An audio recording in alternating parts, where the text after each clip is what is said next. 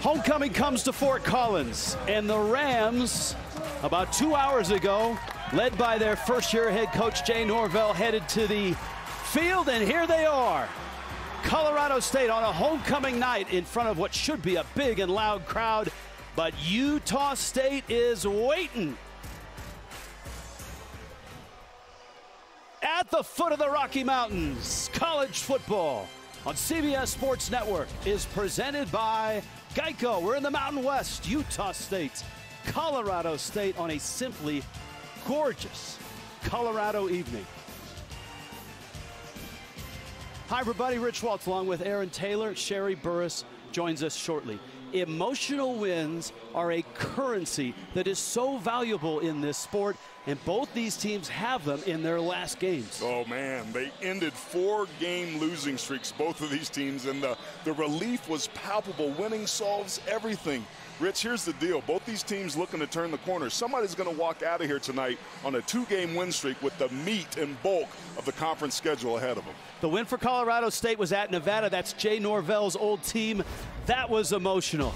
And Avery Morrow on the ground led the way. He certainly did. He led the best rushing attack the Rams have had all season. He and that offensive line are going to be a key storyline tonight because they've got a new quarterback under center. Yeah. How about this? A redshirt freshman walk-on, Giles Pooler, gets the start. Yeah, he's the third starter at the quarterback position in as many weeks. His decision-making and ball security are going to be key. The win for Utah State was against Air Force. That was a huge win, and what a huge night it was for Cooper Legas, who's their quarterback. Legas' legs have been the difference. His mobility's really opened things up in both the run and pass game. He's led the two best offensive outputs in the last two weeks. It didn't hurt that he was throwing a lot of footballs Brian Cobbs' way. Man, Cobbs has elite ball skills. Eight targets, eight catches, had a career high day in both receptions and receiving yards. He's going to give that Rams secondary all they can handle. All Blake Anderson did in his first year, coming over from Arkansas State, is win the Mountain West, beat San Diego State in that championship game. Jay Norvell walked into Reno six years ago for a program that was in disarray.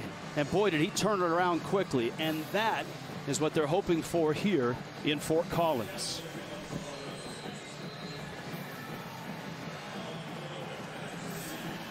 Henry Cattleman will kick it off for the Rams.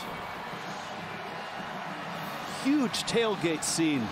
And many of those fans are still pouring in. A line drive kick that's going to sail right through the end zone. Papa John's brings you our starting lineups tonight. Logan Bonner, who was so good at quarterback last year, is out for the season. But the last two games from this guy have been splendid. He's been absolutely amazing. 13 rushes for 76 yards and a touchdown, averaging almost six yards a carry a week ago. Five of his 13 rushes, Rich, last week were first downs or touchdowns. The Rams have to keep Legas' legs in check. Got company, Calvin Tyler, and they run tempo. So we'll keep an eye on that. That could stress this Colorado State defense. This is Lega, who is a great runner. And he's got nine yards as he pulls it and keeps it. And the men up front, in particular, Alfred Edwards, important. He's going to be big. This line is finally getting healthy. Lega again breaks a tackle, spins away, and a hard-earned one yard and a first down. Now, back of this defense, Colorado State's had some good moments. Their emotional leader is Henry Blackburn. There's no question about that. He's the guy that stirs this drink. this drink is getting stirred. A flag is down. this drink is really getting stirred. The tempo that Utah State wants to use in this game is like ultra tempo. It's deadly. It puts so much pressure. Outside, number 42, defense, lined up in the neutral zone. Five-yard penalty, first down. Remember what Freddie Banks, the defense coordinator, told us yesterday? Hey, we just got to get our, our spikes in the ground when they run tempo. We got to get lined up. Get lined up first, and then the play call was key to them being able to be successful tonight. That's a, a five-yard pickup on the penalty. First and five. Legas pulls it, fires it, sideline, caught there. Brian Cobbs is first of what will probably be many tonight out to the 47 yard line. That's a first down and a seven yard gain. Well, he comes from good bloodlines. His dad, Robert, won two national championships back at Penn State at the 80s. And if Brian Cobbs keeps this up, Rich, he's going to be a Sunday NFL player for sure. Already another first down at the 47 yard line. First carry for Calvin Tyler Jr., and he busts it loose. He's inside the 40, inside the 35 to the 34 yard line. Blackburn made the stop. That backside tackle, Jacob South, had the key block on that counter play, and Utah State moving at will here early. 18 yards on that carry and moving quickly again. High tempo offense. Lega with time. Hit as he throws. Ball is loose. That's intercepted. Cameron Carter up the sideline.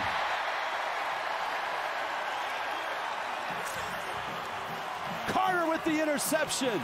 And the defense that scored two touchdowns last week has a big play to start tonight. Rich, one of the things that this Utah State coaching staff was worried about was the pass rush, and coming off that outside edge was Mohamed Kamara.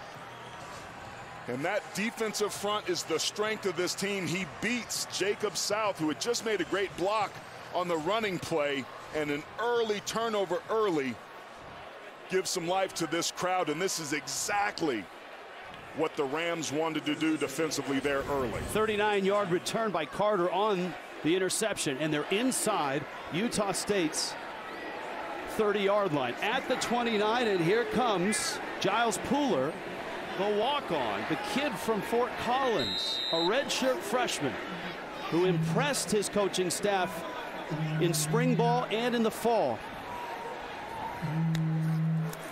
And on first down, this may be a throw caught. Vivens out of bounds. Tory Horton, who was a quarterback in high school at times, with a strike to Vivens. How about the play call here by Matt Mumme? The reverse pass back to Vivens. What an aggressive play call after the first down. They are trying to strike quickly after the sudden change. First and goal. They're inside the 10 and inside the Verizon red zone. Vivens picks his way back to the line of scrimmage, and that's it. Bo Miley made the stop for Utah State. And right now, it's Utah State's defense sort of on their heels. Yeah, and this is going to be an interesting matchup tonight because the Aggies up front from a rushing standpoint, giving up over 200 yards per game. But take a look at this, the fewest drives in the country, among them Colorado State, yet here they are. Here they are for this the seventh time and this is game number six. And a timeout. Colorado State has used their first timeout of the half. 30 seconds. You can see Jay Norvell just telling his redshirt freshman, hey, calm down. We're all right. And I know this, look, hey, this is really something. Sherree Burruss, just a, a unique sequence here that has Giles Pooler starting this game. And it's a rare opportunity for Colorado State quarterback Giles Pooler Rich. He's now the third starting quarterback in three weeks for the Rams. But as you guys mentioned it, what an opportunity to do this as a walk-on freshman. This is a football milestone for him and personal. Pooler played high school football in Fort Collins, and his mom is a journalism professor here at CSU. And guys, I spoke to parents Sarah and Todd, and they said they're a little nervous, but Giles told them he is ready for this opportunity. Oh, and she's ready right now, Sherree. Second down goal from the 11. That handoff going to Avery Morrow, left side, and Morrow slams forward for five yards. This is going to bring up an interesting third down and goal from the six. As we've noted, they haven't been in the red zone, our Verizon red zone, very often. And so that, that, that playbook has been relatively untouched. And you've got a, a quarterback that's making his first start, redshirt freshman here with a big moment. Play call and execution are going to be interesting to see what Mumme dials up. I think something easy, high percentage. Pooler, time, fires, end zone, just over the hands of Tory Horton. Horton got a hand on it. It was a high throw, and the field goal unit's coming on. Yeah, I didn't think it was a good decision either. They were running a mesh concept where the two inside slot receivers cross, Instead, he throws high into double coverage instead of being patient. That's a telltale sign of a young quarterback in a big moment. Big moment for Michael Boyle, certainly his last time out in the waning moments in Reno to beat Nevada. And you can see he hasn't kicked a lot in his career, just two of three. One of those two was a game winner, though, so he was money when it mattered. Up and good. Already, Colorado State's defense has forced a turnover, and the offense turns it into three points. Cameron Carter. Kamara with the hurry. Carter with the pick. And Boyle with three points.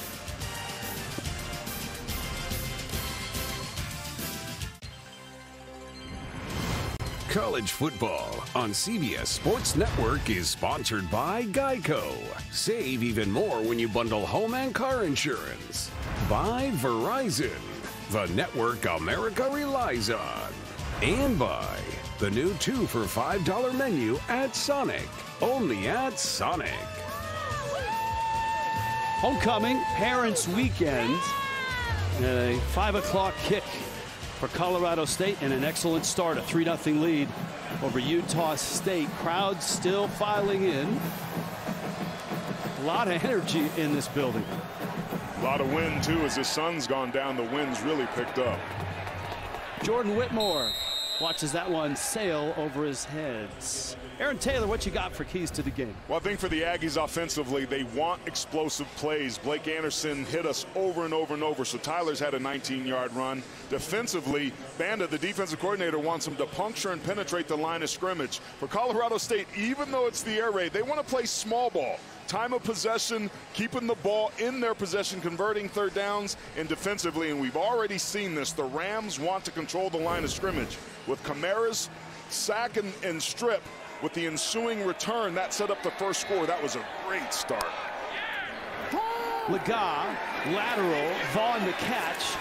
Great pursuit, and he's wrapped up and thrown out of bounds. Drew Kulik from his linebacker spot, and right away, Utah State lined up. Three receivers to the top of this screen. They like him on that right side. And you see Colorado State a little unclear about what to do there. They'll go back to that. Quick screen, Vaughn again and again. This time he escapes. Now we'll see if he stepped out of bounds anywhere. They mark that football just short of the first down, right at the 34 yard line. Utah State's wide receivers get a lot of work. I mean, this is an 11 personnel team, meaning one running back, one tight end, and three wide receivers, and they keep them on the field because tempo is most important. Lega keeps it, has the first down. He really is a different quarterback than Logan Bonner in terms of mobility. And what I'm surprised by is that the Rams don't have a player responsible for Lega. That's twice he's run the keeper where he's pulled the football and picked up big yardage. They call that a spy, right? Well, you, you got to have a defensive end or a linebacker, somebody responsible for that outside gap. That hole opened quickly for Calvin Tyler Jr. And he has seven yards out to the 48 yard line. It was a little messy, but to Tyler's credit, he got north and south and with a nice gain. Tyler again, this time across midfield. And that's good enough for a first down. Four more yards. Man, the tempo and the pace right now is, is lightning fast. It certainly is. And what I like is that they're also featuring the run game. This has really opened up, Rich, what they've been able to do. And they're still struggling to rush the football, but these last two weeks that hadn't been the case. Lega, this time he gets it off cleanly, and it's caught there. Brian Cobbs along the sideline. Cobbs, the transfer from Maryland, is their feature wide receiver. And that guy, Chigozie Anusiem, will be on him most of the night.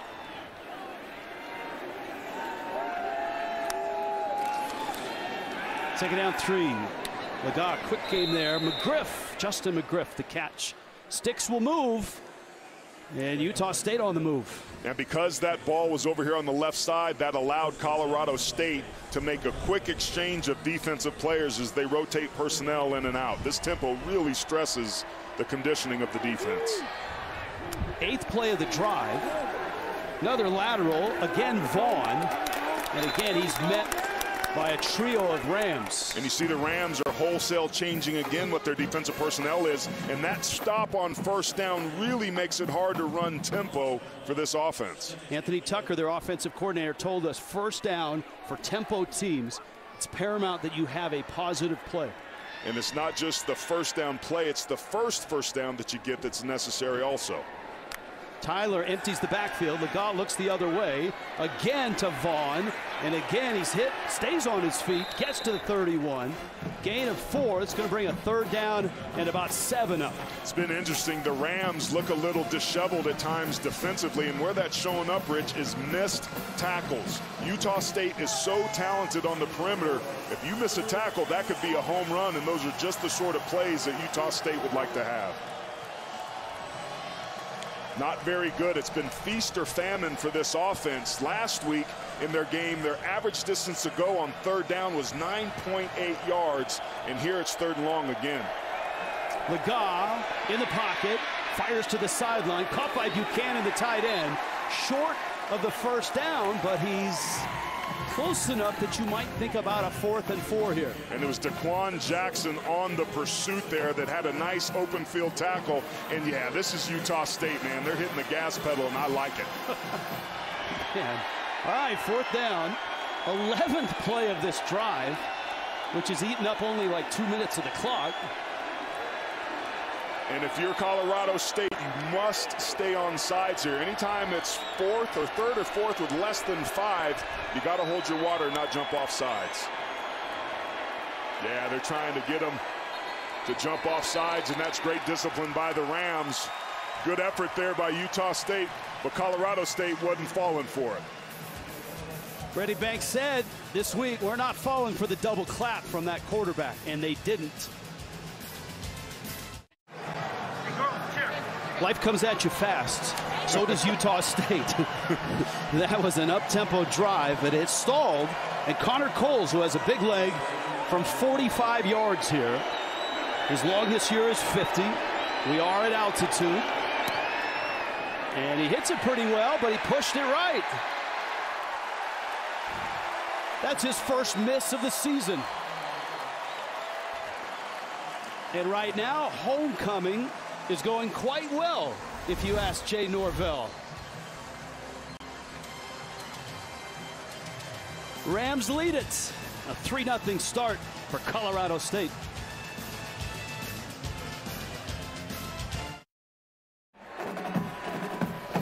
Mountain West standings. Boy, right now, if you're Colorado State it seems like everybody's still in every race. It's wide open this year from the Mountain West. And what's really interesting, we'll talk about this more in the game, is that there's no real elite quarterback in the conference, but Chevan Cordero at San Jose State is certainly someone to keep an eye on because the Spartans are looking good. Yes, they are. They may be the most consistent team in the conference right now. All right, Giles Pooler, drive number two. On the ground, Avery Morrow. Morrow, second effort. Going to get six, maybe seven. Papa John's brings you the starting lineup. How much of the playbook does Pooler have? It's been condensed. I mean, they're going to run what they run. He's a smart player. He understands this offense and what they can do. And what Mumme told us is that because he knows so much of the offense, it really helps him because he can check in and out of stuff. The air raid ideally would like a quarterback that on 60% of the snaps can call things at the line of scrimmage. I don't think Pooler's there yet, but he's got a good understanding of this offense. That's something that Carson Strong did so well at Nevada for Mumme and for Norvell.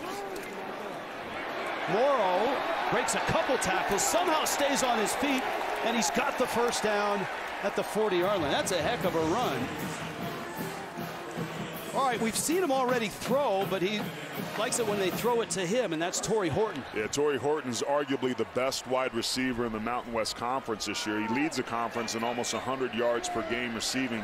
The coaches raved about his focus and mentality and how good of a practice player he was. That needs to translate here tonight when the ball's in the air. Oh. Movement, but no flag. Yep, center should have snapped it there when he's in the neutral zone. Pooler winds up and throws a fastball to Morrow makes the catch, but he's right at the line of scrimmage. Stress points for Utah State defensively. Hunter Reynolds, though, at that safety spot, really experienced and good. Boy, is he rich. He's the undisputed leader, both on and off the field. Everybody rallies and relies upon him. He's the most stable player they've got defensively and really stepped up from a leadership standpoint. Facing the air raid offense of Colorado State. Second down and 10. This is Morrow.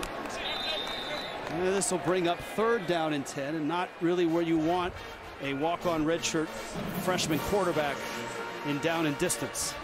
Utah State defensively on their defensive line is getting some penetration and getting inside and it's going to be a tough decision for Matt Mumme. You've got a young quarterback. It's third and 10. This is an obvious passing situation. You go conservative with a draw or a screen or do you let this kid put the football in the air and try to pick up the first down midfield? Yeah, this is one of the many numbers that is just not great for Colorado State. Last in the country in third down conversion. Utah State shows blitz. They bring four. Morrow can't get through that first level. It's a good play there by Patrick Joyner one of the defensive ends along with Hunter Reynolds. Penetration kills the run game and it was an excellent job by Joyner of getting across the line of scrimmage. He's going to beat the center. The center wants to capture him and get his shoulder over the right side, but right there he goes back to the guard. Excuse me, it was the left guard. But that is textbook defensive line play, and that movement up front is what set everything up and is forcing this punt. Paddy Turner, an Australian sophomore transfer from Nevada, Little end over end kick, fair catch called for and made by Utah State. They get it at their own 13. 3 0 Colorado State. Homecoming night in Fort Collins. 3 0 Colorado State on top of Utah State. Utah State head coach Blake Anderson, four years ago, lost his wife to cancer. His father passed away about eight months after that. And this February, he lost his son, Kason, who died by suicide. I mean, that's a heavy burden for anybody, let alone a head coach of a college football team. It's amazing how he's coping and his whole team is helping. It's unreal how everybody's rallied around him. And when we asked him, how'd you get through this? What's the game plan to be able to deal with so much adversity? He said transparency. There were days at practice that I was crying and I'd need other coaches to step in. A bunch of us send songs or text messages, different things to pick each other up. We're in this together. This is a community and a team based on chemistry and culture, and we care. And that's incredible because what he's been able to do is what his team's starting to do. False start, number on offense, number 61. Five-yard penalty, first down. Yeah, he said, look, you know what? I'll be honest with you guys. He said it's really hard to be vulnerable in front of your team. And the moments that he has been vulnerable, the assistant coaches, the team, the amount of texts that he gets from players on his team on a nightly basis. It was incredible. Rich, what really stood out to me, and he was pretty candid with us, he says, I'm not going to lie, there were times I thought about walking away, but I just couldn't. Legas throw incomplete. Flag down in the end zone. When we talked to defensive coordinator Freddie Banks, he said he likes to give the games and the stunts on third downs to the defensive line coach, and that's what they did there, but it might Personal be too much. Foul. Roughing the passer, number two, defense. 15-yard penalty, automatic first down. That's C.J. Onyechi they're going to come run here, and he's going to come on a stunt. And this is a very clean execution for the defensive line to run the tackle end exchange.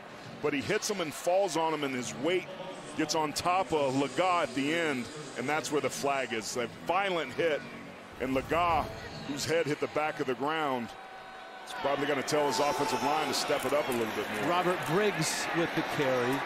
And he's out to the 25-yard line with more on Blake Anderson. Here's our Sherree Burruss. Sherree? Well, guys, I was talking to quarterback Logan Bonner before the game. He's been with Coach Anderson since his Arkansas State days. He was telling us that Coach Anderson, as you mentioned, it does get emotional at practice, and the team is part of his family, and they try to uplift, uplift him. And Bonner is one of those guys, as you mentioned it, who is texting him every day, trying to really be a bright spot for Anderson as he's going through these tough times. All right, thank you, Sherree. Brandon Guzman with a, what almost was a late hit on Cooper Lega, who went into his slide after picking up a first down. Football sits at the 34-yard line.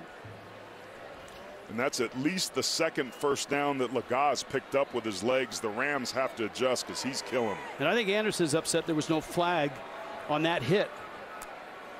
Vaughn in motion. Lega looks at him and then fires up the field and throws short to McGriff. Did not catch it. It's incomplete. Now it's interesting because Lega's not necessarily a pure pocket passer. He's he's pretty good when he's throwing the football, but that's not necessarily his strength. These early hits that he's taking, he's not nearly as accurate as we saw in their game a week ago against Air Force. Second down 10.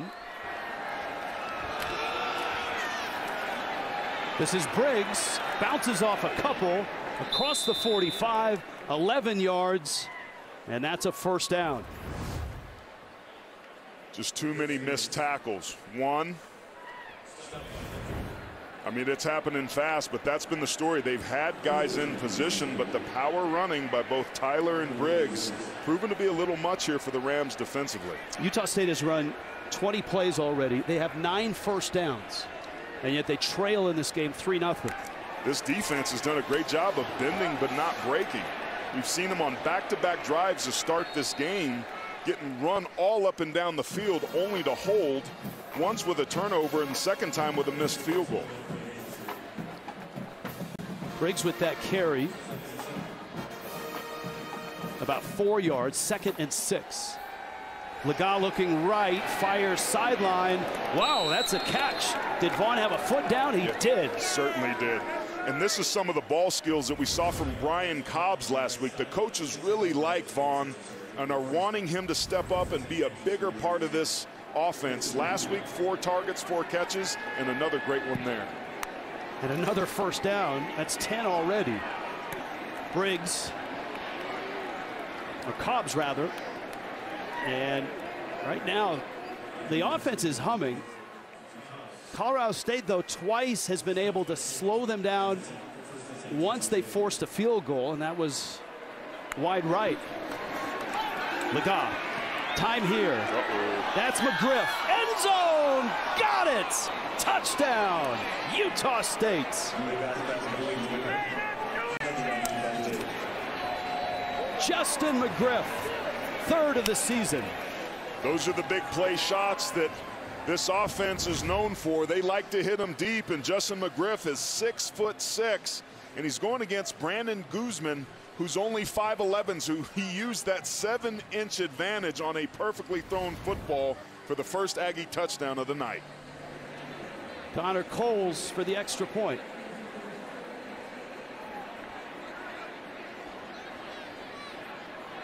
That was important for the Aggies to finish the drive. That gives them some confidence and allows them to settle down.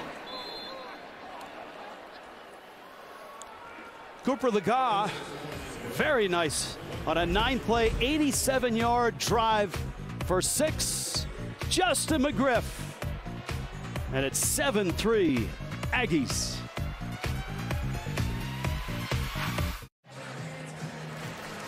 Justin McGriff with a great catch for a touchdown. And a 7-3 lead. Marco's Pizza plays we love. Boy, I love some pizza too. Hey, here you're going to see the safety. Henry Blackburn going to come from the slot and blitz the quarterback. That means it's man coverage across the board. Lega recognizes that. He'll take that 101 deep shot all day long. The other safety late to get there.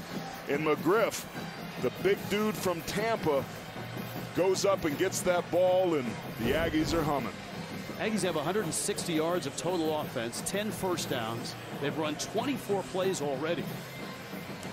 And that starts to show up and test your depth in the second half. That means the Rams offense have to help them. Well, this is a short little pooch kick, and I think it bounced out of bounds. Yep. Flag comes down. So good field position now for Colorado State. It's interesting. Blake Anderson's in charge of the special teams, and he was trying to drop that ball in the hole and maybe get a freebie. And it's also, I think, an indicator that you don't mind that your team's going to start. Free kick out of bounds. Kicking team. Five yards will be added to the spot. First down. Alabama, Tennessee. For those of you that were watching that game, man, what a game. And it's over. A 40 yard field goal to win it for Tennessee. They take down number three, Alabama, 52 49.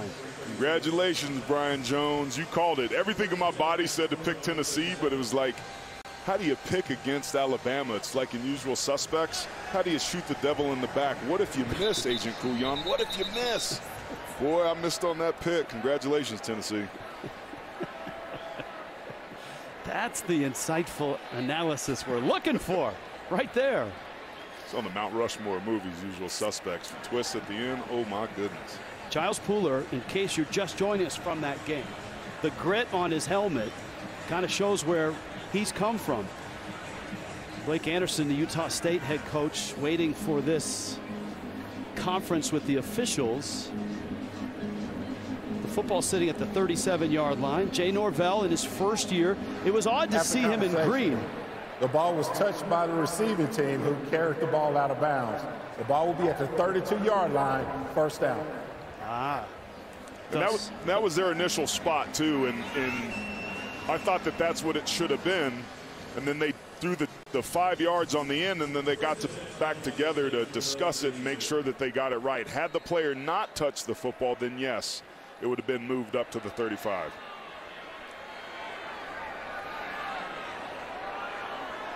Four receiver look. Giles Pooler.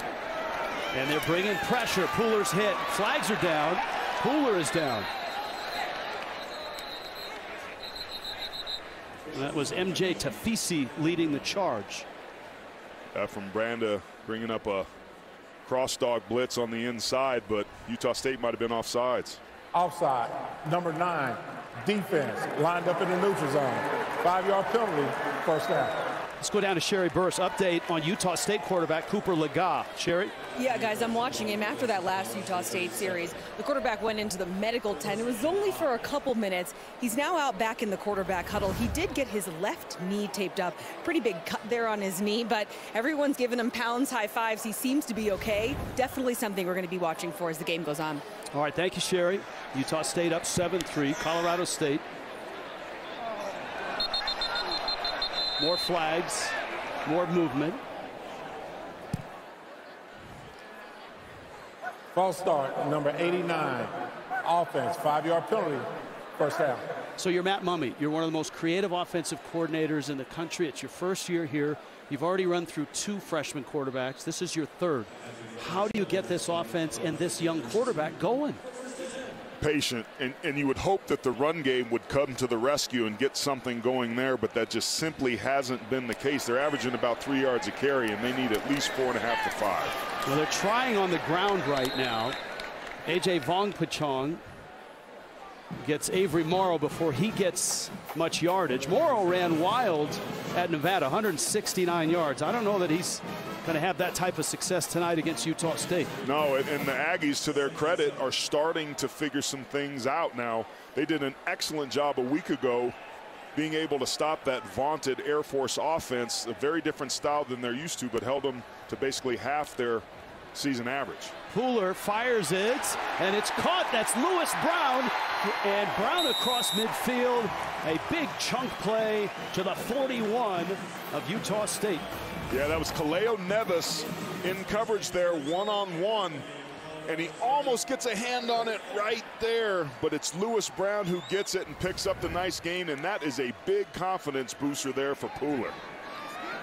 25 yards, final seconds, first quarter. Colorado State on the move.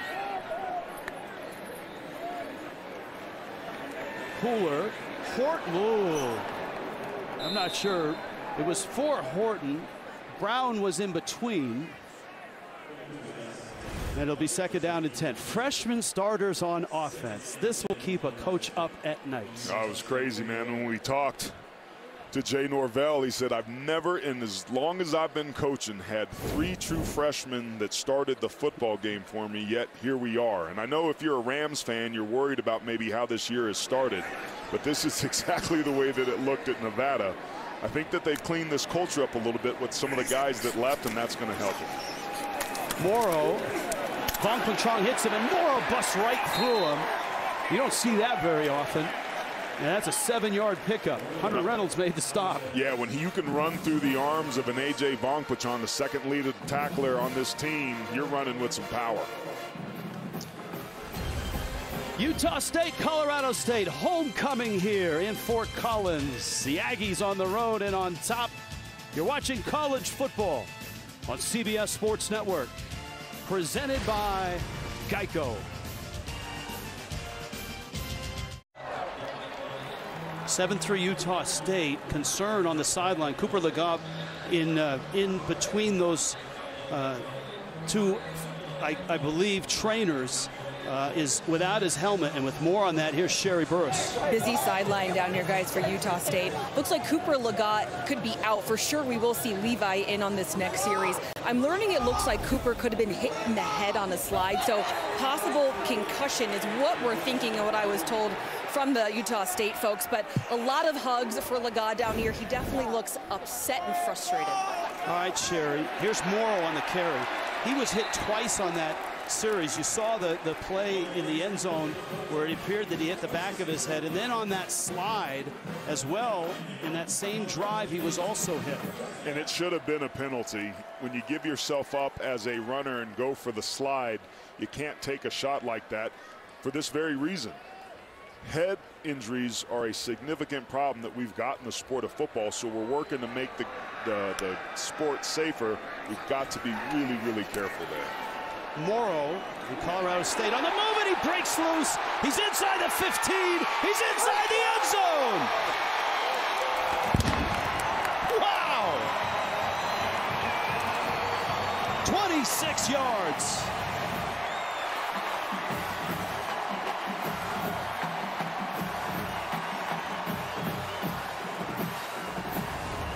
Well, you understand why Jay Norvell wanted to bring him. Look at all the missed tackles. There's one, Vongphachanh.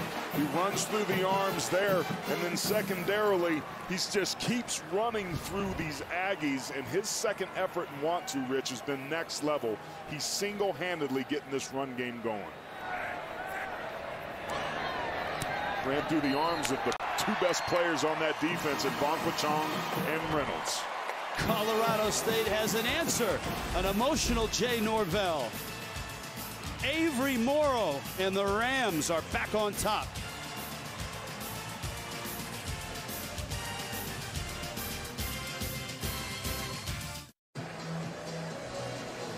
Ten-seven ball game. Colorado State on top of Utah State. Rich, let's go back and take a look at that. As a linebacker, you have to have great instincts because you're so close to the football. A.J. Vongphachanh reads this perfectly, but he doesn't finish. This is a counter play. Boom, right there. He doesn't finish. MJ Tafisi doesn't finish. Then he runs through Hunter Reynolds' arms, and then finally with the great block by wide receiver Justus Ross-Simmons, Avery Morrow punches it into the end zone, and they are feeling themselves, and for good reason. Take a look at what they've done through their first 18 games of his career and how he's just exploded since coming over from Nevada. Yeah, one of the many players that came with Jay Norvell and his staff from Nevada to Colorado State. Kickoff through the end zone. Tomorrow night, 7.30 Eastern, CBS Sports Network gives you live Major League Pickleball action. Head-to-head -head competition in Columbus, Ohio. Champions will take home $100,000 right here, 24-hour home of CBS Sports. You a pickleball player? I know you like to play tennis. What about the old uh, short court? Have dabbled in it. Levi Williams, please welcome him to the show. he is an experienced quarterback. The transfer from Wyoming has won two bowl games in his career. So this isn't a guy that hasn't seen action. He's played in some big games and won them. Has a big arm, not as mobile certainly as Lega, and he's going to get three yards. Let's go back to the slide. We showed you the hit in the end zone. This was the slide.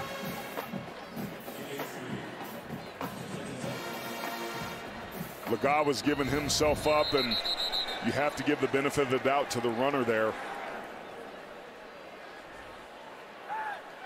False start, number 61, offense. Five-yard penalty, second down. Yeah, that's right guard Waylon Lapuaho had a personal foul last week, but that's what you get with a new quarterback. It's a different cadence. You're on the road. It's a little bit loud, but you have to find a way to hold your water. And this is going to change Anthony Tucker's playbook, don't you think? The offensive coordinator, difference in mobility. Well, what I liked is the first play call. They had Levi Williams run the ball to feel some hits there. And his throw is over the head of McGriff. And McGriff was wide open, and McGriff is six foot six, so that ball was way over his head. And you see him kind of winding his arms up there. He's still trying to loosen up, man.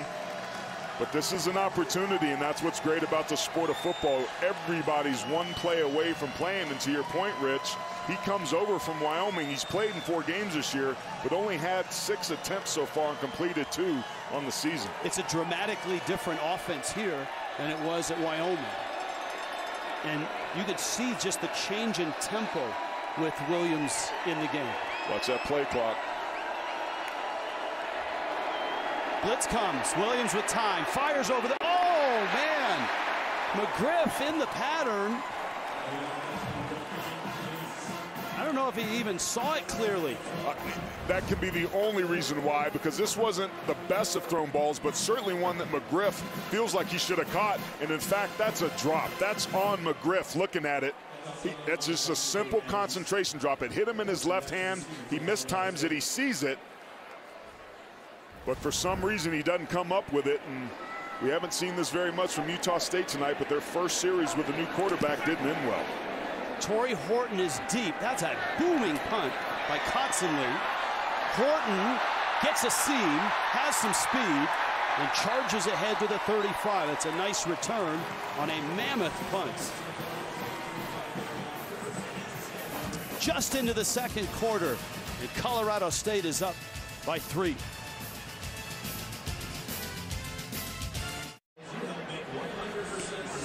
10-7 Colorado State on top of Utah State down below to Sherree Burruss. Sherree? All right, guys, I'm here with quarterback Logan Bonner. First and foremost, you had surgery on your foot earlier this month. How are you feeling? How is the recovery going? Uh, I'm good. I'm just out here with the guys and trying to help us, help us win a game. It's important for you to still be down here. Why is that? Yeah, you put a lot of hard work in. I mean, I love this team, love this this school. So you put a lot of hard work in, and you want to be uh, you earn the right to lead this team, and then you, you get hurt sometimes, and you still want to help out any way you can. So that's just uh, what I wanted to do. Particularly now that Cooper Lega might be out, what is your message to the other quarterbacks in that huddle? Next man up. Uh, Coop did a great job last year when I got hurt, uh, preparing, and so the other guys. So we're just uh, looking to play the next man. It's football. It's, it gets tough sometimes, but you gotta have next man up. And you have a unique perspective that you have literally been in their shoes on the field. How are you using that perspective to help lead this offense? Yeah, just kind of keep them calm. Remind them it's a long game. One play is not going to kill the game in the beginning. Uh, and I just try to keep them calm and try to keep them focused. Thank you for the time, Logan. I appreciate it. All right, guys. All right, Sherree, thank you. Good stuff down there. Logan Bonner out for the season.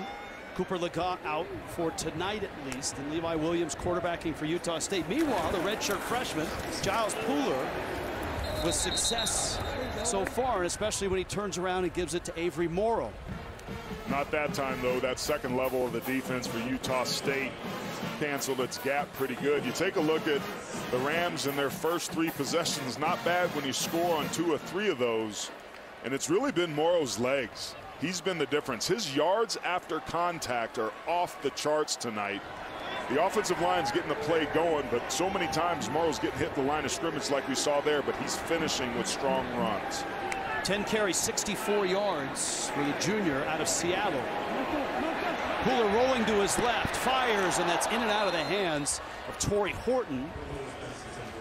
And, third down and nine. And Rich, this is the second pass on this series that we've seen Giles Pooler not put on an open receiver. This time, Tory Horton, who could be the best wide receiver in the country, the ball's behind. So when you're running a shallow crossing route like that, it's really hard to turn around.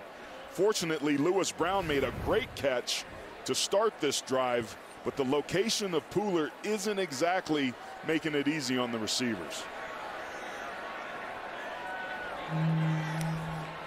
So on third and nine, blitz comes late. Pooler's throw over the middle on the money. Lewis Brown has another catch. Look at where the forward progress is. All the way to the 46. This is going to be fourth down and a yard. Oh, this is a big decision by Matt Mumme. They're trying to hurry up here. You maybe think you want to sneak it, but not from the shotgun here. Oh, it's a quick snap. Morrow dives, and he's got it. How about that? Well, barely, yes. if he does. And that's the risk. And, and that's what I don't like about being in shotgun in short yarded situations. You eliminate the best play that you have, which is the quarterback sneak. Here, though, it looks like they get it, and the way that Morrow's been running powerfully, probably not a bad call. Look at the power that he delivered. And I think Lewis Brown, his own teammate, felt the brunt of it. Jay Norvell pacing. What an emotional win at Nevada. Of course, he was the head coach there for five years. Colorado State won that game without an offensive touchdown. They had two defensive touchdowns and a field goal. Pooler shuffling his feet. Ooh! Brown, the intended receiver. Anyanwu, the corner came up and arrived just as the football did. And that's a big, clean hit, and that's what the sport of football needs more of and is built upon. Anyanwu's been missed some time because of injury, but he uses his shoulder, he hits Brown in the body, and that is how you play cornerback. Lewis Brown, who's really, in the last two weeks, really started to blossom. Three catches, 42 yards in this one. One of the many talented freshmen on this team. The future's bright offensively here. Vivens in the backfield. High snap. Vivens, the handoff. He's got nowhere to go to lose maybe three yards. This will be a long third down. Tight ends are really struggling to block the ends for Utah State. Take another look at that last hit. It's a violent hit. But it's the type of football play that we're encouraging to take the head out of the game. We've seen multiple examples today and all throughout the season, both on the NFL and collegiate levels, of what can happen, and even in this game with Cooper Legas. So I applaud those nice, clean hits there. Pooler the walk-on redshirt freshman is four of eight. 42 yards. And of course, one touchdown. Blitz coming on his left side. Stands in, fires it on the money. Caught there. Tanner Arkin, the freshman tight end, short of the first down. But this is going to be another fourth down and maybe less than about a yard. And this is interesting because this is the second time in a row we've seen receivers run routes just shy of the sticks. You have to know where you are and what you need to get the first down because now you're in another fourth down situation, the second of this drive, and Utah State could be ready for it. Freshman to freshman, a 10-yard gain. Morrow's back in for another fourth and one. Timeout for injured defensive player. And a an Aggie goes down.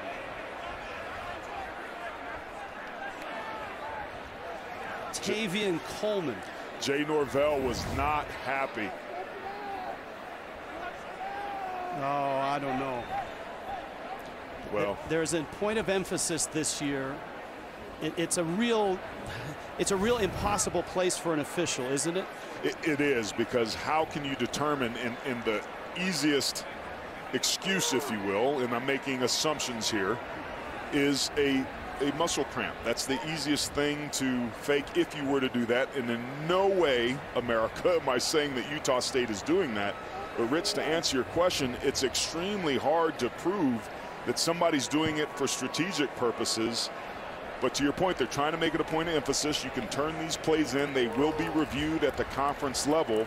And if there is impropriety in play, there are penalties at stake. And the context to this is the last fourth and one on this drive, Colorado State hurried to the line of scrimmage and maybe caught Utah State unprepared and got the first down. Almost the exact same scenario here.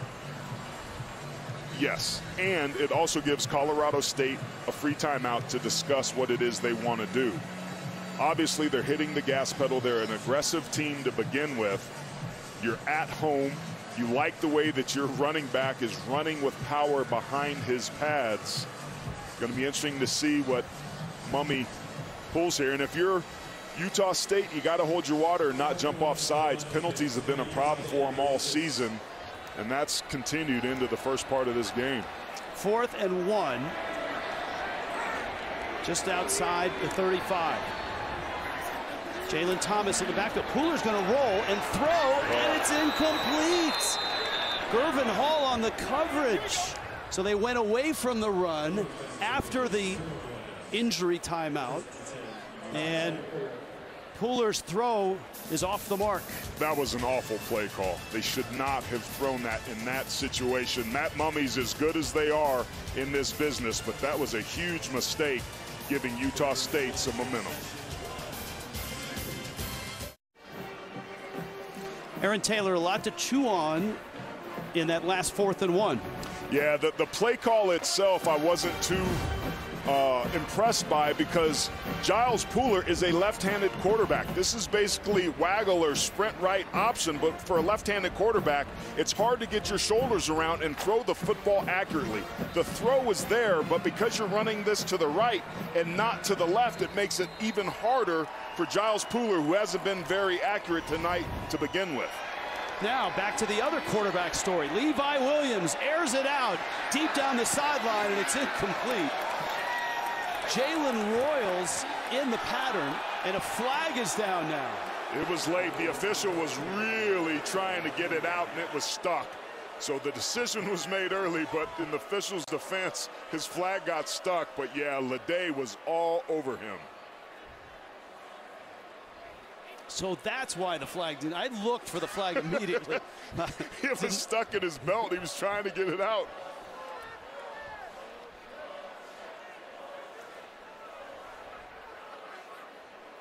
Long conference. Pass interference, number 10. Defense. 15-yard penalty from the previous spot. Automatic first down.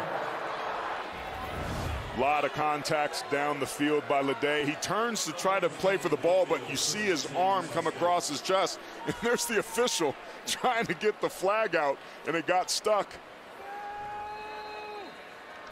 But significantly impeding the receiver's ability to make that catch. How about doing it again? And you know what? That's Anthony Tucker, the offensive coordinator, seeing, all right, what does Levi Williams do best? And that's throw it and throw it deep. He's got a strong arm. Yeah, but the problem is he's got to give the receiver a chance. He throws this ball, and it looked out of bounds.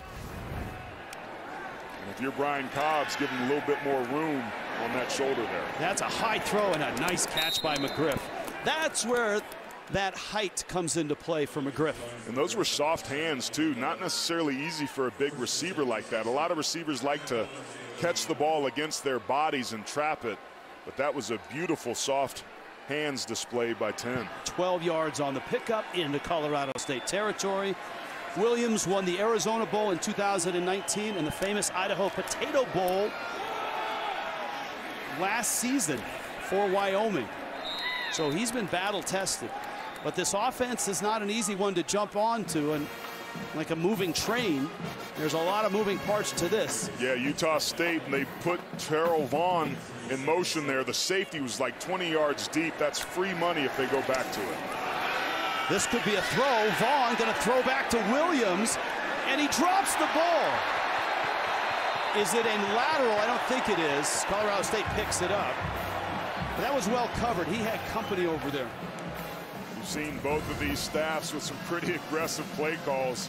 Utah State loves the big play. Not actually a bad throw by Vaughns, but Levi Williams, who's a quarterback, used to throwing passes, not catching them. Not sure that one was in the Wyoming playbook. I'm not Greg Bull, no chance. Here's an opportunity for Colorado State to use its strength, and that's rushing the passer. Looks like they're going to blitz. Long count by Williams. Low snap, picks it up. Pressure and incomplete. And the blitz came. Mohamed Kamara again. Kamara's lined up right over the football, and that's what spooks the center with the bad snap. He's trying to get over and block C.J. Onyechi, but the bad snap, it's a dribbler way too low, and Levi Williams, as tall as he is, is lucky to get that chance, and now Utah State trying to kick a prayer. This is right at the leg distance of Connor Coles. 52-yard attempt. He's hit a 50-yarder this year. The kick, it is no good. He's missed two. From 45 and now from 52. And Utah State comes up empty. This is the second missed field goal of the night. A big part of how they beat Air Force. That's a glance right Man, off the upright. So close yet so far. I tell you what, the foolish penalties and the self-inflicted wounds starting to accumulate here for the Aggies and Colorado State desperately trying to take advantage of it offensively. Colorado State has a really good redshirt freshman quarterback, Clay Millen, who has completed 74% of his passes, but he's been out with a shoulder injury. They hope that he's back next week. Giles Pooler getting the start. Morrow picks his way through the first level and then gets caught from behind. MJ Tafisi with the stop. Leo Nevis on that as well. But taking a look at Morrow, look how often he gets hit, but he runs behind his pads, meaning he's got a low center of gravity and super powerful legs, great balance, and it's want to. Morrow has the heart of a lion, and he is really making this run game go for Colorado State. Because I'll be honest, offensively up front, the Rams aren't getting it done. Morrow trying to get outside, does, has a seam across midfield, breaks, no, not that tackle. This time Hunter Reynolds got the jersey and was able to get him down. I was hard on the tight ends because they hadn't been doing a good job on the perimeter to get their blocks, but what you're gonna see is Arkin come across and seal the edge. Beautifully done bang right there. And because Vongphachanh played downhill and took a tight angle, he basically blocked himself and 25 was off to the races. First and 10, 46-yard line of Utah State. Giles Pooler so far has managed the game and moved the offense. Play action. Oh, and he's hit from behind and sacked. Here comes the heat. Here comes Daniel Grzesiak. Grzesiak was playing out on the flat in coverage, but here he is here, and he's just going to beat the right tackle, Dante Keys. Really enjoyed talking with Keys, but he just gives him a ghost move. Such a good get off. Great bend, dips that shoulder, and Keys basically misses him. And Pooler's really lucky he held on to that football. Ephraim Banda, the uh, energetic and very good defensive coordinator for Utah State. Pooler, sideline. One of the things about the air raid, and we talked to Matt Mumme about it, his offense is kind of designed for a right-handed quarterback. We asked him when's the last lefty that ran this air raid. And he thought, and he goes, you know what? I'm going to go all the way back to Kentucky and Jared Lorenzen. And when we talked to him yesterday, that was among the first things that Giles Pooler said. Hey, there's some plays that are specifically right-handed, like a sprint right option. Are we going to flip that? He said, no, we're going to do what we do. And we saw what happened as a result. Third down 18. Look screen, left side flips the screen to the right side, and that's incomplete. Threw it at the shoe tops of Avery Morrow, but Pooler had pressure. You'd love to have pressure on a screen pass. It helps make your job easily. But when you don't block the defender, Byron Vaughns off the outside edge, you still get your quarterback hurt. And he spooks because he sees him there first, so he rushes the throw, and it ends up on the ground. Paddy Turner, the sophomore, the transfer from Nevada, of course, last year Colorado State had a great punter, Ryan Stonehouse, who is lighting the NFL up right now, averaging 55 yards a punt. A good roll there. It's going to be down inside the 10-yard line. Six and a half minutes left. First half. Colorado State by three.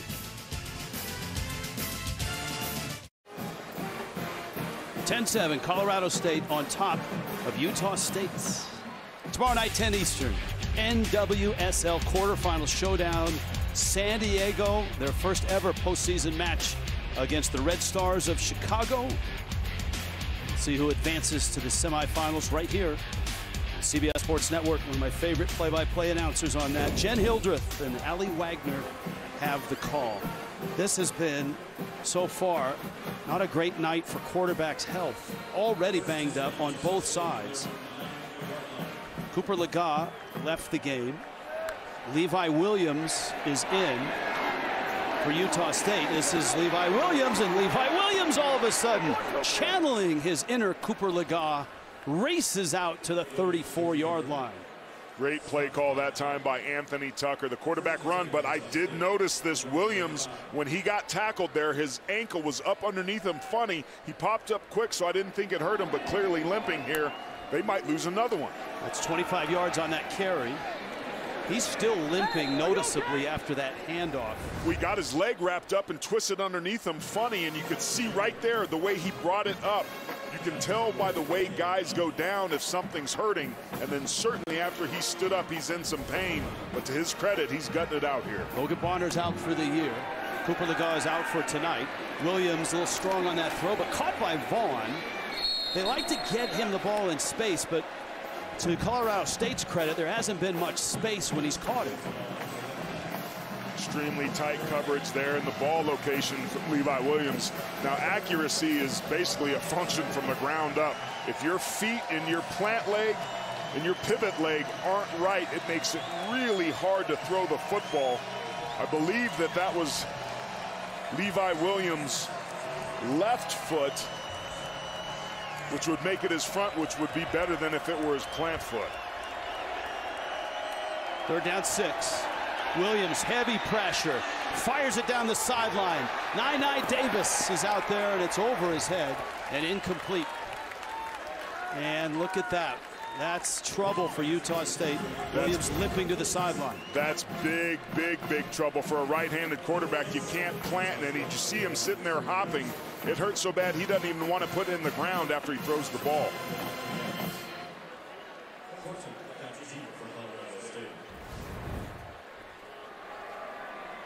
That's keeping Sherree Burruss quite busy right now on both sidelines. Whoa! It's blocked!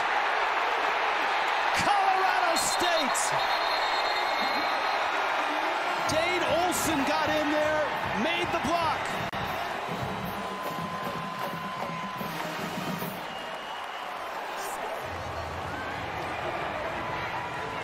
Lede, who got the pass interference penalty, is coming off that right-hand side. He doesn't get the block, but he certainly gets the recovery. Just an excellent job of getting up inside.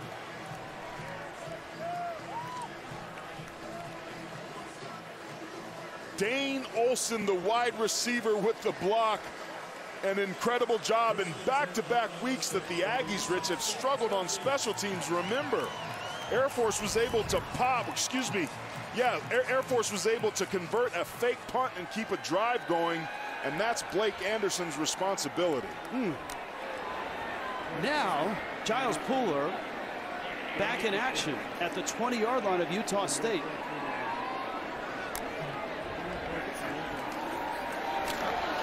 Morrow surges ahead, just like the Nevada game. Colorado State's offense isn't great tonight, but everything else is. Defense has made some stops, special teams as well. Well, I've been hard on the offensive line. I want to give Dante Bivens, the left guard, number 74, some credit there. It's been banged up a little bit, but he really sustained his block there extremely long, and it doesn't seem like it's much.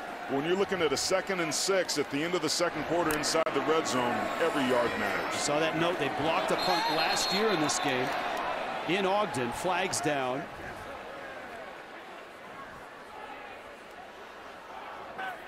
False start, number 67, offense, five-yard penalty.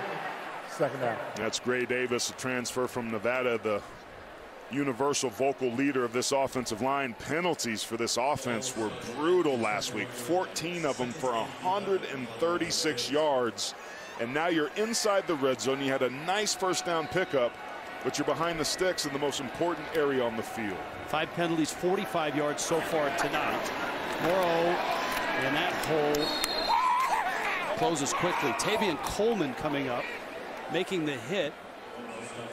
And now you're faced with third down and 12. And MJ Tafisi, the leading tackler on this team, number two. Watch this guy read it. His eyes, he triggers his read right there, and he gets inside the tight end who is trying to block him down. That's great instinctual linebacker play, and a big reason why him and Vongphachanh are so good as a pair in the middle there. Pooler is 5 of 12, 53 yards.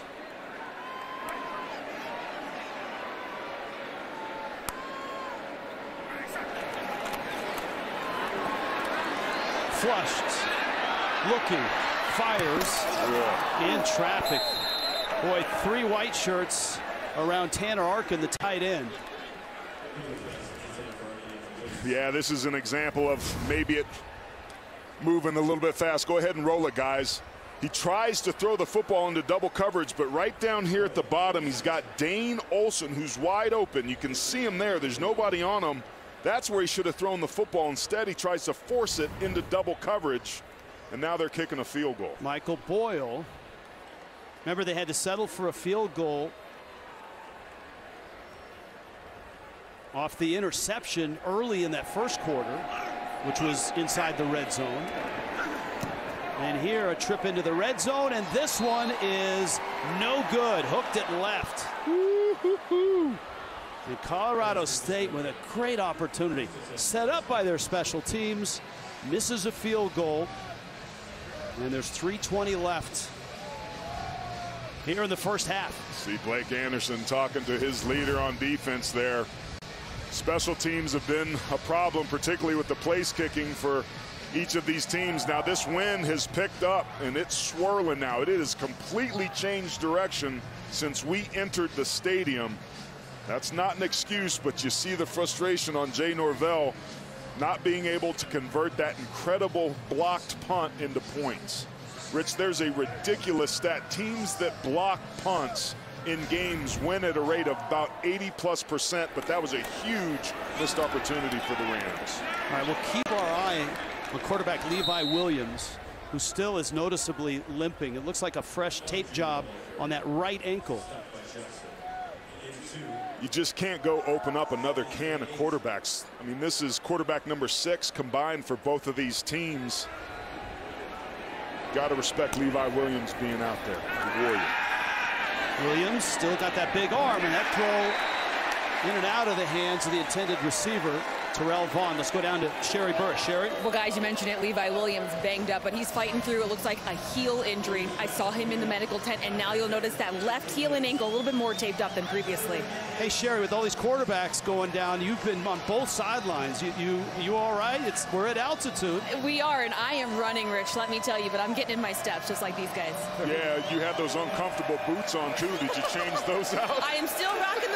boots, guys. Third down. Williams throw hit as he throws. It's incomplete. Vaughn, the intended receiver. Kamara again. Mohamed Kamara, we so enjoyed our time. He's coming from depth. Not a very good effort by the running back to try to pick him up. It's not a fair fight, but you have to make contact and slow him down. And 42's been a problem all night rushing the passer. All right. Kotsanlee gets another shot here. And this time they protect him. Horton is deep. Bobbles it, picks it up, breaks a tackle, slides by another, sideline, and Horton is dragged down from behind. It's a nice return to the 37-yard line. Verizon halftime report. Brent Stover, Kevin Carter, Houston Nutt. What a day in college football, and a lot of games tonight as well. And they'll recap that thrilling Alabama-Tennessee game. Number six, Tennessee with the upset. It's all coming up. Verizon halftime reports. Yeah, great job by Tyler Horton there on the return. had three punt returns last week for 40 yards. He's such a good football player. The coaches wanted to find a way to get him more touches in the game, and that last return, the classic case of outkicking your coverage, Horton made him pay. And now Colorado State's got two timeouts, two and a half minutes, and receives the ball to start the second half. This is a big time opportunity for the Rams. On a draw, Avery Morrow has been their best offensive weapon, and he's across the 40 yard line, a gain of four. Well, we saw Blake Anderson talking to his defensive leader, A.J. Vongphachanh, before this series after that missed field goal, and he desperately needs this unit to get a stop and hold them and hopefully get the ball back for the offense so that these teams can figure out some things and settle down. They do not want to give points up here. Pooler waits, delivers, traffic. Arkin didn't hold it. He's got big shoes to fill. Trey McBride was so good here, second round pick of Arizona, but they really like this freshman. Yeah, but here's a situation where you want to put the ball on his body because of the tight coverage. Instead, he puts it out to the right, and he's trying to rush Arkinez to get the football away from the defender, and that's why he ends up dropping it. You put it on his chest where he can cover it and protect it with his body. That's the location you want in that situation. One of seven on third down for the nation's worst third down team this year. Great opportunity for the Aggies and their cheetah package coming. Third and six. And his time evaporates. Patrick Joyner in his face. And a sack for Utah State, and flags go down.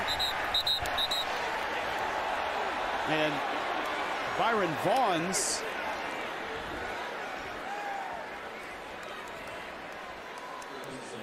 took a, I don't know if it was a shove or a hit, but this is not good. I mean, these are the two Utah State quarterbacks headed to the locker room right now.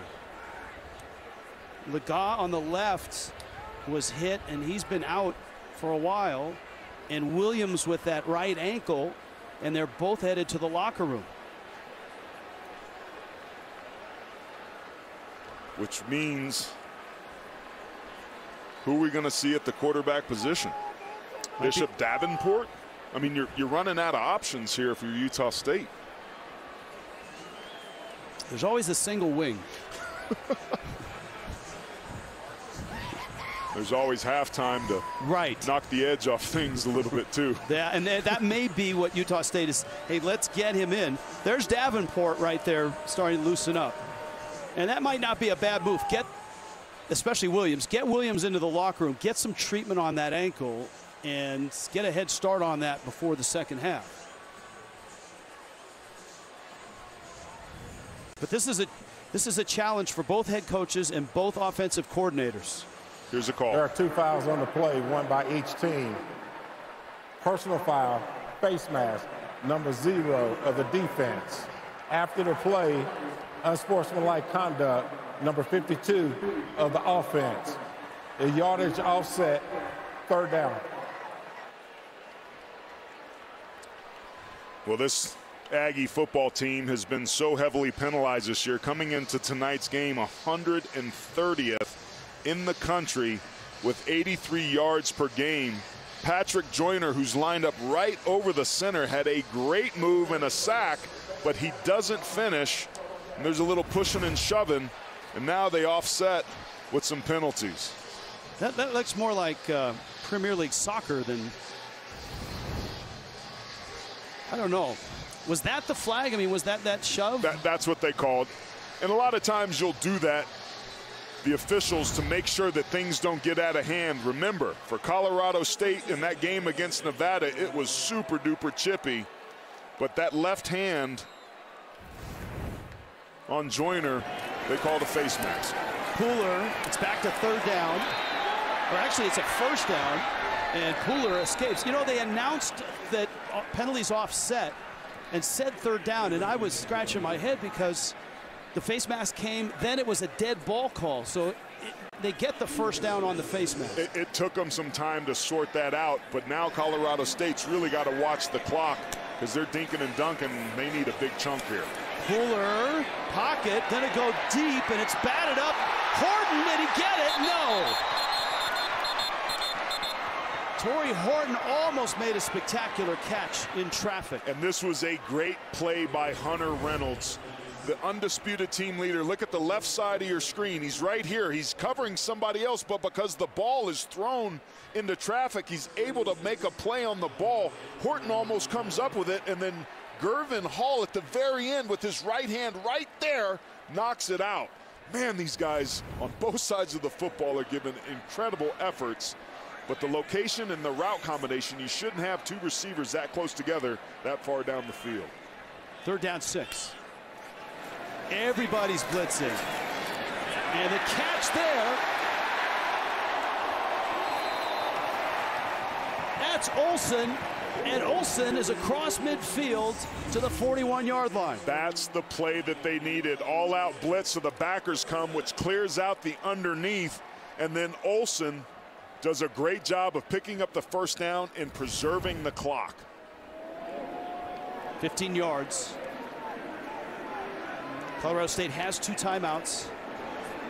Target line is the 30 for Michael Boyle, their field goal kicker, who's one of two on the night. And he's going to be kicking into the wind should they kick a field goal here. Utah State. Utah State's going to burn a timeout.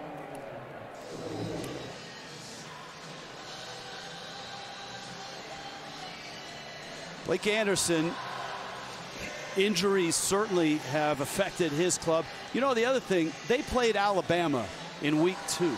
Yeah. And we asked them, how did that affect your team? He didn't really want to go there, but all he said was, that can mess you up. I mean, that, you know, well, that's not an easy thing to do to go to Alabama and play a team as physical as that.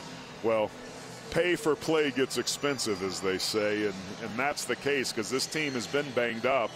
And it's hard because there's a difference in the body styles and the players of what there is in Logan, Utah, and what there is in Tuscaloosa, Alabama. It's just a fact of our sport on this level.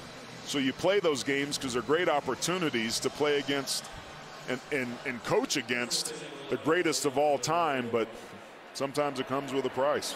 41 yard line of Utah State. They're putting pressure on Giles. Hit as he throws down the sideline.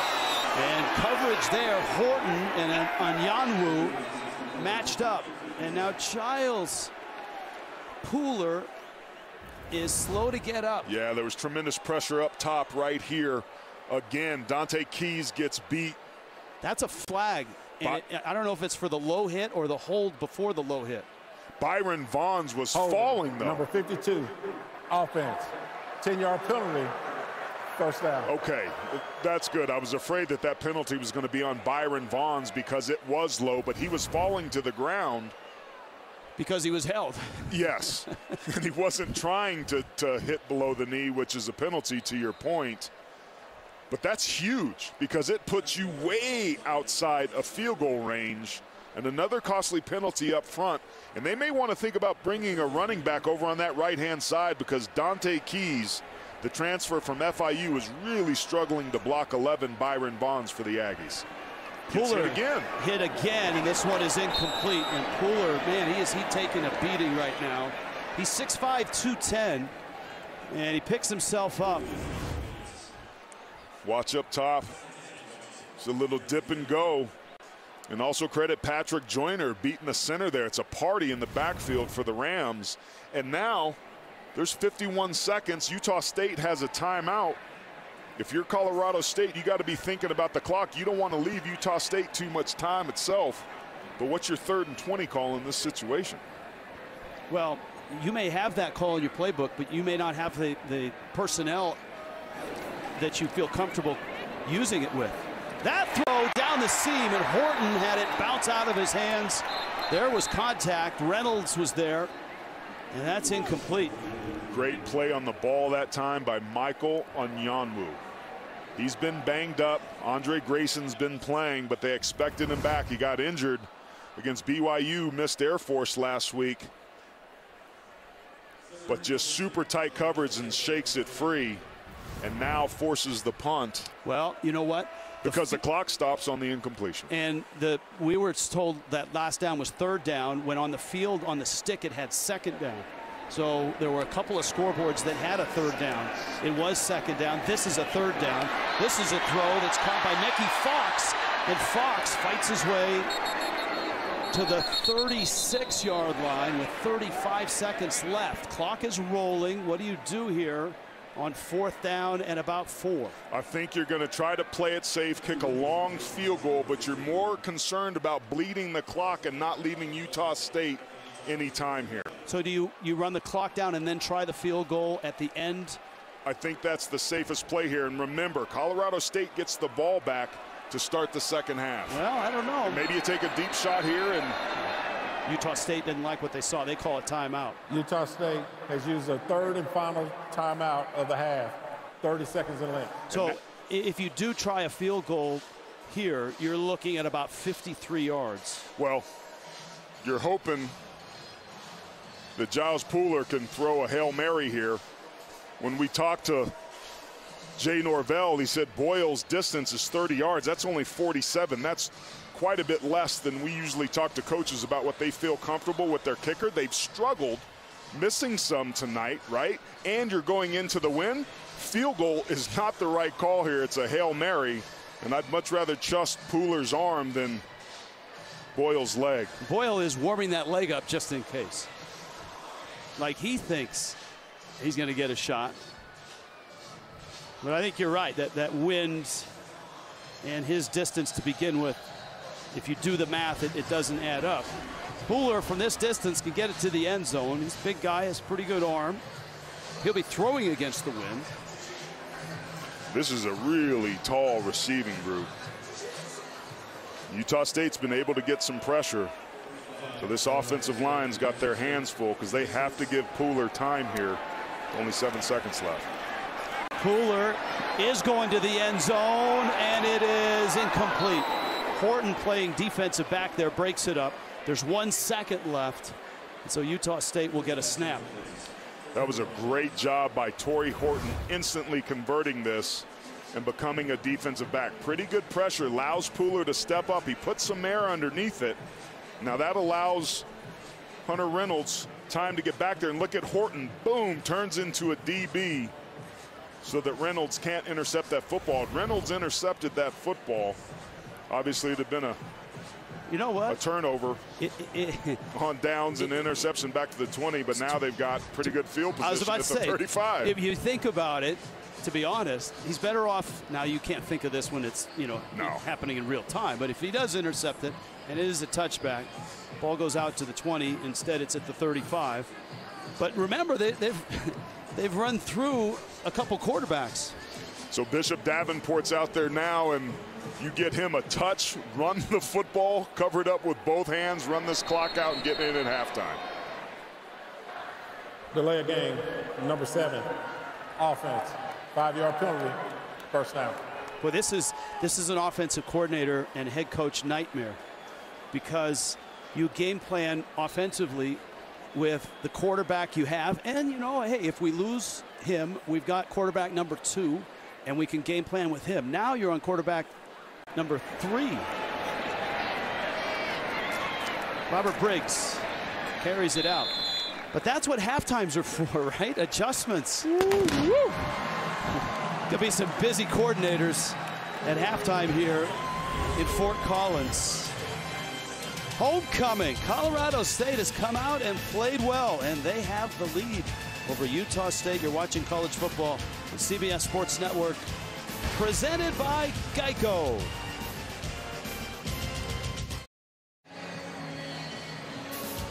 Kubota, first half stats back in Fort Collins. 10-7, Colorado State on top. All right, you, you, can look at these numbers, and there are a few jump out. The first downs, a lot of them for Utah State with just the seven points. But the real story here is quarterback health. Rich Waltz, Aaron Taylor. Sherree Burruss is going to update us on Utah State's quarterback situation health-wise. Right now, both coaches are look like they're going to be going with their third-string quarterbacks in the second half. You're scrambling right now. You're trying to figure out what it is you can do to win the football game. It's got to be a position different than the quarterback. But this happened early. Cooper Lega right there leaves the game with a head injury, maybe a late hit there by Guzman as he tries to slide. And then Levi Williams hurts his ankle And it's just, you just, you can't lose this many guys at such an important position in this style of offense and hope to be effective. So in comes the young guy, Bishop Davenport, looking to get his first game action of the season. We also see Levi Williams that with an ankle injury, see him jogging there, testing it out. Halftime can do wonders to help protect and knock the edge off lower extremity injuries. So what Utah State does here in the second half at the quarterback position will be a huge storyline to keep an eye on. Remember, Davenport is the fourth string quarterback. Williams is the third string quarterback. Legawa, the second string quarterback. Logan Bonner, the first string quarterback, is out for the season. There will be a quiz on that to start the fourth quarter. My goodness.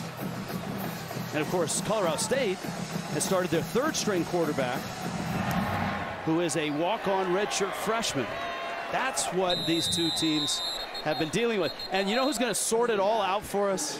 Our Sherree Burruss. Sherree? Well, the Utah State quarterback def definitely being challenged. So the update, guys, for you. Cooper Lega, he is out with a concussion. Levi Williams, as Aaron mentioned, assessing that ankle, but Coach Anderson telling me probably out also. So you have Bishop Davenport. He is going to be starting here in the second half. His backup, worst case scenario, they are turning to Garrett Larson. And I asked Coach, do you have an emergency backup? Would anyone throw the ball? He told me at that point they would just have Williams hand it off. All right, Sherree. Colorado State, first possession, second half. Giles Pooler, the redshirt freshman, took some hits. And at one point, Jackson Stratton, the fourth string quarterback, warmed up on the sideline and was ready to come in the game. But Pooler never left. Fires this one and on the money. Nice catch there. Lewis Brown has had a nice night.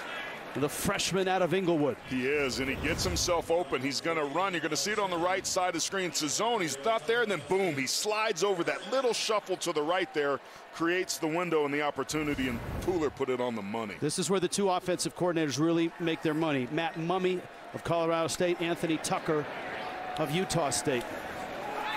Rolling to his left, flips it there. Big tart, tight end. That's Tanner Arkin with a catch and a three-yard gain. Kaleo Nevis. It's pretty incredible what's happening, Rich, for, for Colorado State tonight. We featured Tory Horton, which could be the best wide receiver in the Mountain West Conference. He certainly leads the conference at 98 receiving yards a game, has yet to have a catch here tonight.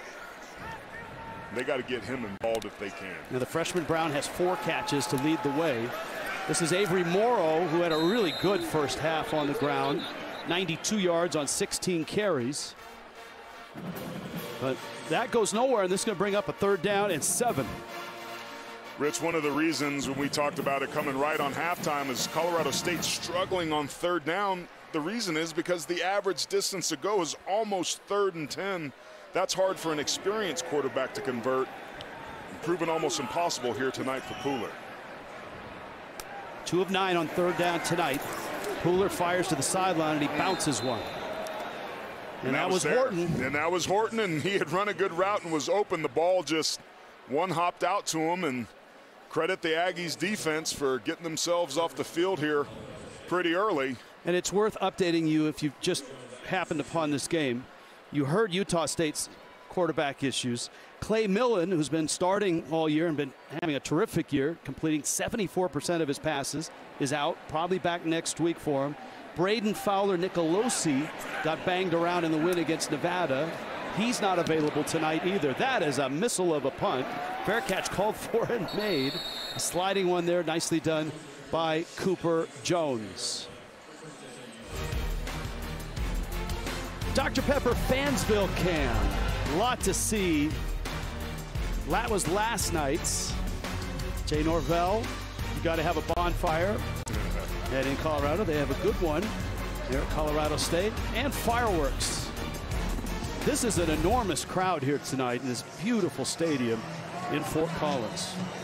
It is, and this track that we're at here at Canvas Stadium is in my opinion, the gold standard of group of five stadiums. A lot of people are studying what they've done well because they nailed it. Bishop Davenport turns and hands it off. Calvin Tyler Jr. Please welcome the freshman, Bishop Davenport from Spring, Texas. And man, was he a great quarterback at a 6A school. Threw for over 7,300 yards, 77 touchdowns. They really, really like him. And here he is, the fourth string quarterback for Utah State. To the air. Look at that money. On the money. McGriff with the catch. That's a first down. Nice play call there by Anthony Tucker set your feet and throw. Double slants inside. It's a quick throw, gets out of the quarterback's hands and gets him in the rhythm. Another throw by Davenport. McGriff again, or excuse me, that's Terrell Vaughn, and he's into Colorado State territory. They mark it at the 44, 13 yards. I tell you what, this uh, this guy looks sharp and composed. Hands it off. This is Tyler. Tyler makes a tackle and inside the 30 to the 29 yard line. And this offense is cooking again. Up tempo. Fourth string quarterback looking like a starter, Bishop Davenport. He's looking pretty comfortable. He's directing traffic, and I agree with you, Rich. Strike that. the commentator curse I guess. Second down, and it's going to be about 14 after that loss. And that's the worst possible thing that can happen on first down in a hurry up tempo based offense. Remember Sherree's interview early when she asked uh, Logan Bonner, How are you helping Cooper Legas? And then she had to ask him, What about Levi Williams? She had to go back and ask him about Bishop Davenport. Know. Second down 14. And Davenport dives. Going to get a couple. It's going to be an interesting opportunity from a play call standpoint. How aggressive can Anthony Tucker, the offensive coordinator for the Aggies, afford to be here? This is the part of the field where Colorado State has had some success bending but not breaking. You got a young guy under center. Got to protect the football. Third down 12. Four man rush. Davenport, a dart to the end zone. Wow. Nine Davis in the pattern. That was a pretty well thrown ball. May have been a little high. It, it had too much mustard on it. It needed a little bit more air. Arm strength certainly not a problem, but he was trying to force it to beat the safety that was coming over and just outside the outstretched arms of Davis. Connor Coles has missed twice, 45 and 52. This is kind of between that distance. 48. This one he hits, and this one is good. And this game is all tied up at 10 apiece. This is some homecoming at Fort Collins.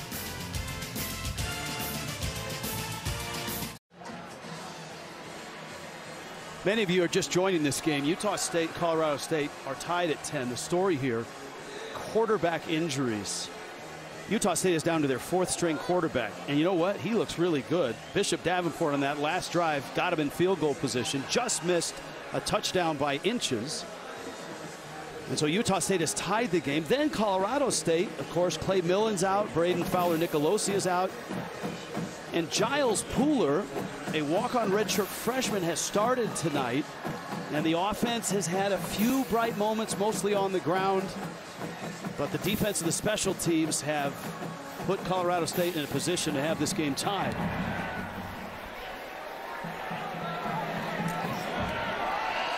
Ajon Vivens will bring it out. And Vivens gets across the 20 to the 23. Well, Rich, Tory Horton coming into this game is the most productive wide receiver in the Mountain West Conference, but he's been targeted tonight, but not very productive. A combination of heavy coverage and throws that weren't ideal. Some good defensive play, and he's been somebody that is sitting here without a catch. And if you had told me through halftime that the best wide receiver in this conference would be touchless, I wouldn't have believed you. He does have a pass completion of 19 yards and that's an anomaly for a guy like that to have more throws and, and completions than he's got receptions. Morrow right side. Tafisi got him from behind. And that's really encouraging right there to see Morrow with that type of run because Pooler has really struggled throwing the football, Rich. You take a look, only 9 of 23, 96 yards. You mentioned it. There's been moments, but not, excuse me, not many of them. Getting emotional up here. you know, offensive linemen, quarterbacks go down. You I can see that. Pooler fires it to the sideline, and it's incomplete. Morrow was the closest in the area, but that ball was about 15 yards away from him. Yeah, I thought he missed Tanner Arkin, the tight end there, too. He's missed some throws, but there's been some heavy pressure, and that's not easy on a young quarterback, but you start to feel the rush. That play was helped by a face mask call by Joyner there, but there's been a lot of hits. They've struggled up front to be able to protect Utah State who hasn't been outstanding getting after the quarterback. Coming into tonight's game, only seven sacks, but this pass rush for the Aggies has been on point tonight on third down. Pooler going down the sideline, and his receiver, Justus Ross-Simmons, never saw the football. And you, Jay Norvell kind of looking and say, what the heck happened there? Yeah, it looked like Pooler was throwing the ball because he's got an incredible job of keeping the red line, meaning on the numbers. He's got all that space between the numbers and the the sideline there to make that catch, but he never breaks off his route. Norvell was not happy about that. Byron Vaughns, who is a, a valuable member of this Utah State defense. He had a big game against Air Force, seven tackles. And you see that tape there on that right ankle. He's been nursing a high ankle sprain that he got against UNLV. Been limited in practice, but coaches told us he was about 90, 95%, but they like his twitch off the outside edge. And man, he has been dominant in his matchup over Colorado State's right tackle. We'll step aside, 10 apiece early in the third. 10 apiece here, Colorado State, Utah State. And here's the injury to Byron Vaughns. He's up at the top of the screen, playing over the right tackle. It's hard to really see kind of what he did there. Round in the corner. You mentioned that high ankle sprain. He was bending there pretty good, but injuries continue to mount for the Aggies, and Vaughns in the tent getting looked at. Sherree will keep an eye on that for us and update us when appropriate. Look at this formation. They're coming off this right side, maybe trying to get their own version of a block. Remember, Blake Anderson heavily involved in special teams. They've blocked two punts already this year. That's a low line drive. And it takes a quick left turn.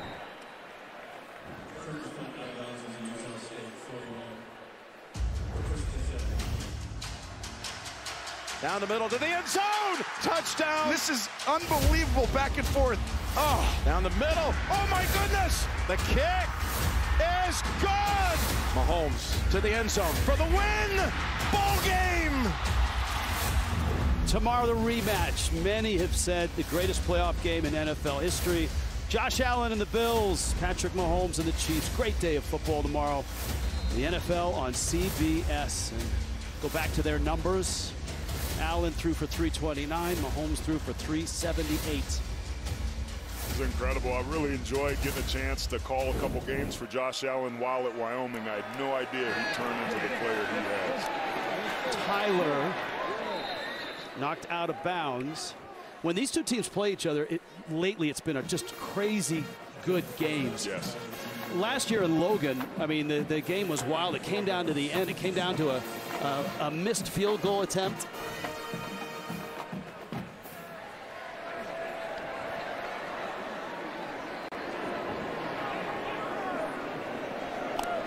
Fourth string quarterback.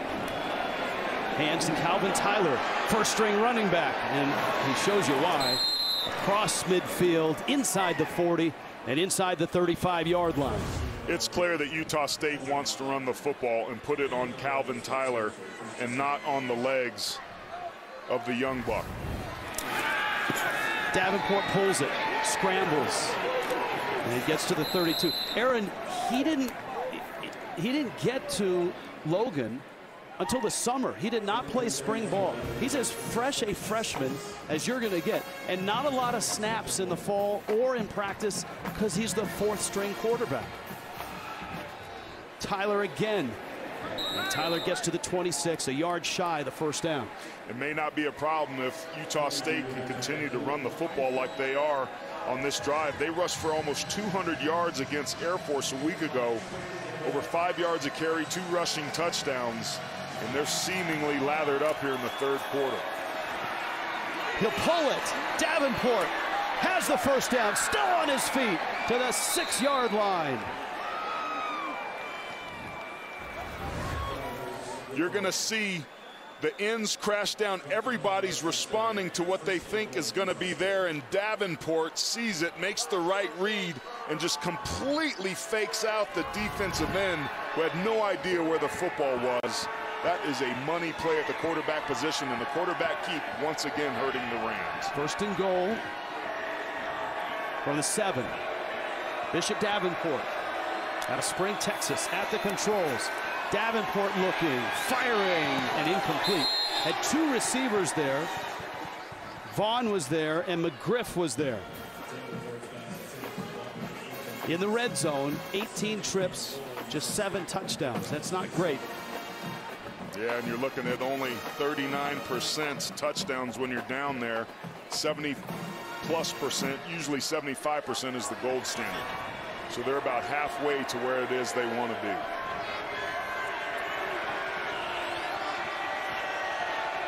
In breaking routes or quarterback draw here. Tyler here. Inside the five to the four. This is going to be third and goal from the four. The Aggies offensive line, Chandler Dolphin, Waylon Lapuaho, Jacob South, Wade Meacham, and their leader, Alfred Edwards, that we highlighted in the feature. These are the situations that win you football games, and Utah State desperately wants a touchdown here. Shotgun blitz, rolling, keeping, leaping in, touchdown. A big step over, avoids a tackle, and Bishop Davenport sticks it in the end zone. Tremendous play call by offensive coordinator Anthony Tucker. This is a two-way go. He can throw it or run it. The safety's desperately Jack Howell trying to get over there, but it just the sees part. Davenport sees it and sticks it in to take what's about to be a seven-point lead. It was the run game that got it humming and got them down there. Excellent job there by the Aggies. Extra point is good. And Utah State with their fourth string quarterback who looks like a seasoned veteran right now. Takes it down, sticks it in. Bishop Davenport and the Aggies are up by a touchdown.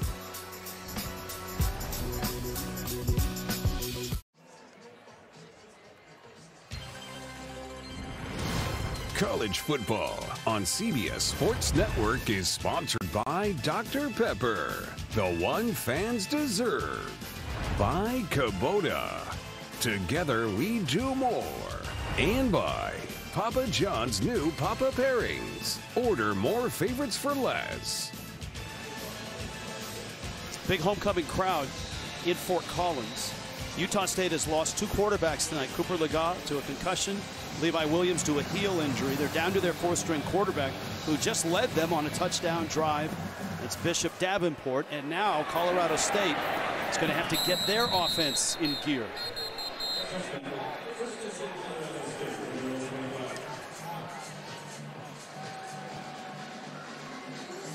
Pretty incredible by Davenport, Rich. Led two eight-play drives, both of which ended in points. The first was a field goal.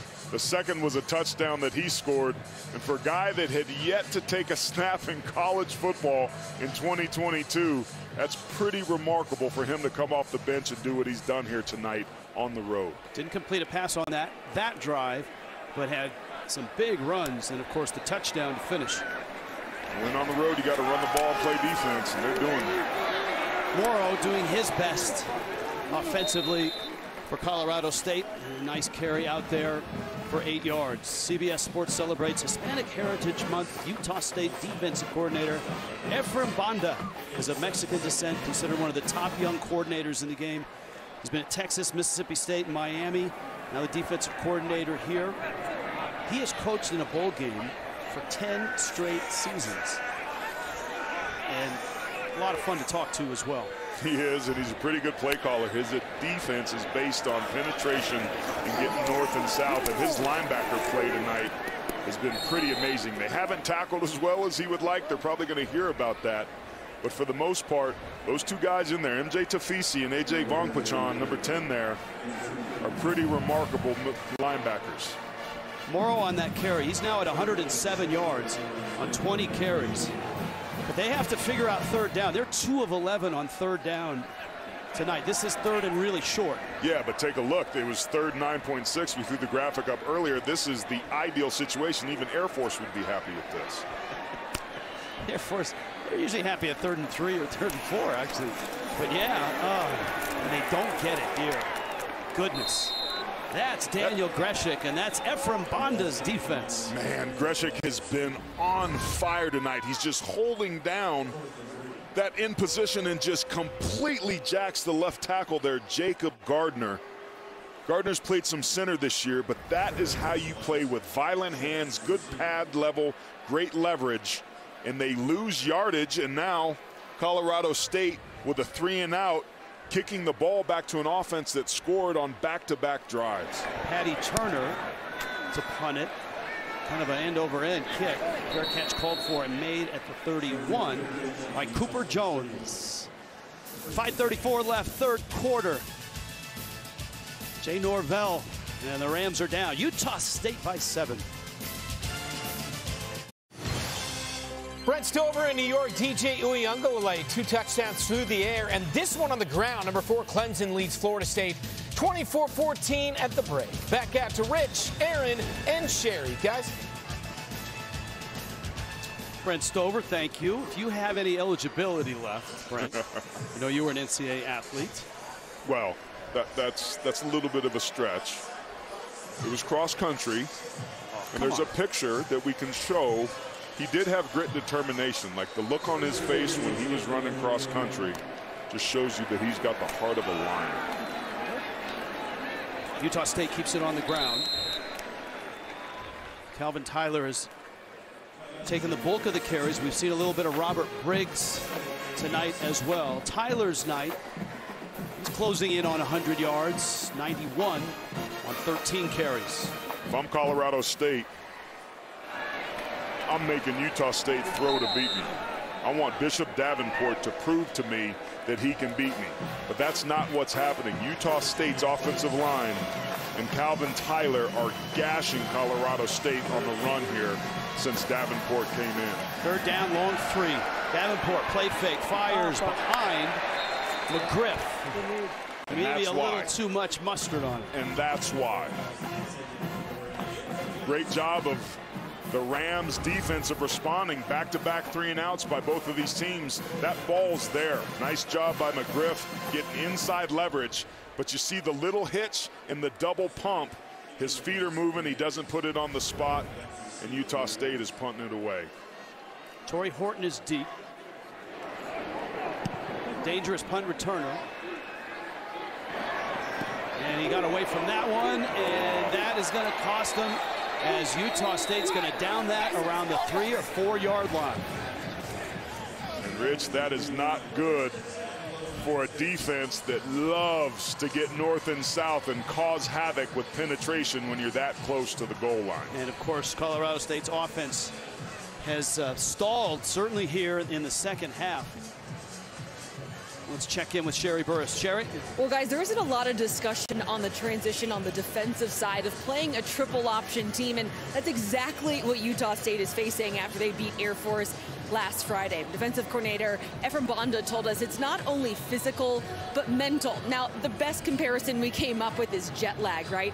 Easier heading to there to where you're going than coming home. And so Banda telling us is Aggies defense, they were playing in not their traditional scheme. So, Aaron, what are you seeing as they're, they were used to the triple option, now having to go back to that traditional look of their defense? Yeah, well, they got gashed a couple years ago by Air Force, and Banda owned it. He said, we weren't doing what we needed to do. So we made those adjustments and started playing a little bit more of a two-gap style than playing lateral there. That's a nuanced, great question. And Sherree wins the award this week for best questions in our coaches call with Utah State. She asked that question about the hangover from the option. She also asked the left-handed, right-handed question, again, uh, running the air raid for Colorado State. So I I, there has to be some sort of award and prize because well, Aaron and I just asked where should we eat here. That's a, also a very important question, but uh, gotta brush my shoulder off on those guys. Williams with the catch, nicely done, and Pooler connects for a big first down out to the 30.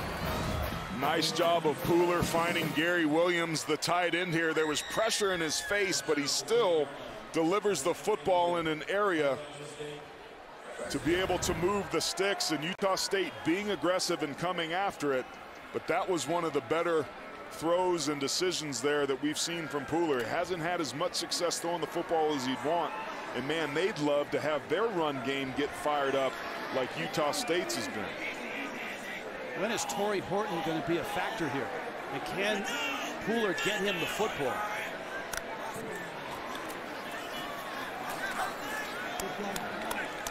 Gain of uh, not even a yard. These defensive ends for Utah State are having a heck of a game. Both Daniel Grzesiak, number nine, and Byron Vaughns, number 11.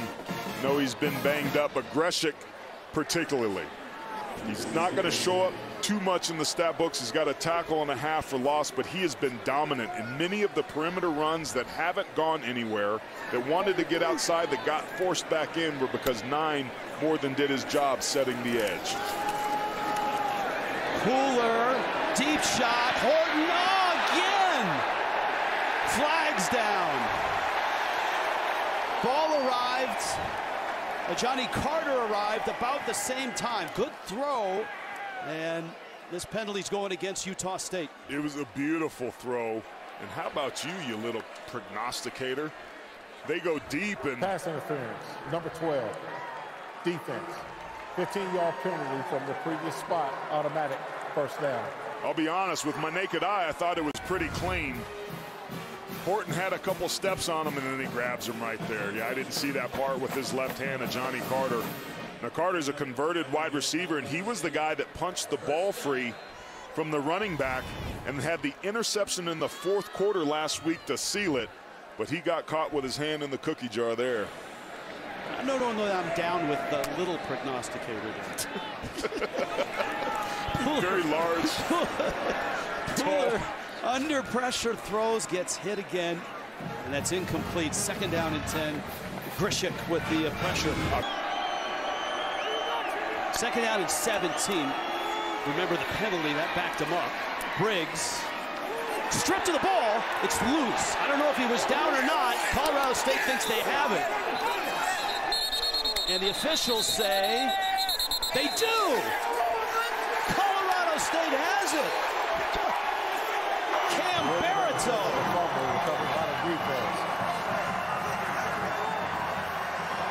Barito didn't have his helmet, but he certainly had the football. Daquan Jackson may have stripped it. Rich talking with Freddie Banks, the defensive coordinator. He said, we have to find ways to get turnovers. And it's Daquan Jackson right there that pulls the ball out. And in back-to-back -back weeks, Colorado State finding ways to win the turnover battle in their second week in a row with two turnovers. Now, you could see there that the ball carrier Briggs was down, but he, his knee never hit the ground before the ball came out because he was laying on the tackler, which means he's still live. 100%. It was clean as can be. They may want to take a look at it. But they're going to end up where they are right now, which is Colorado State snapping the ball in their possession. Pooler And Morrow is just getting the bulk of the work right now. Utah State knows that. And the yardage is, is much tougher to come right now for the junior running back. Very good defensive line play there. What I'm noticing with Colorado State is there's three factors of an offensive line, and they're just not sustaining. Man, how many plot twists have we had already in this one? On to the fourth. 17-10. Utah State.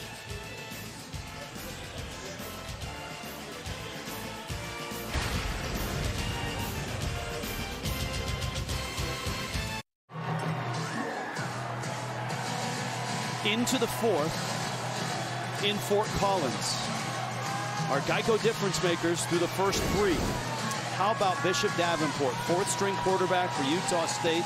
Hasn't thrown it that much, but those rushing yards on the touchdown drive, very important. Avery Morrow is doing the bulk of the work right now for this offense at Colorado State. 110 yards on 25 carries in the red zone is young Giles Pooler, the redshirt walk-on freshman quarterback in Colorado State. From the 11, second down and nine.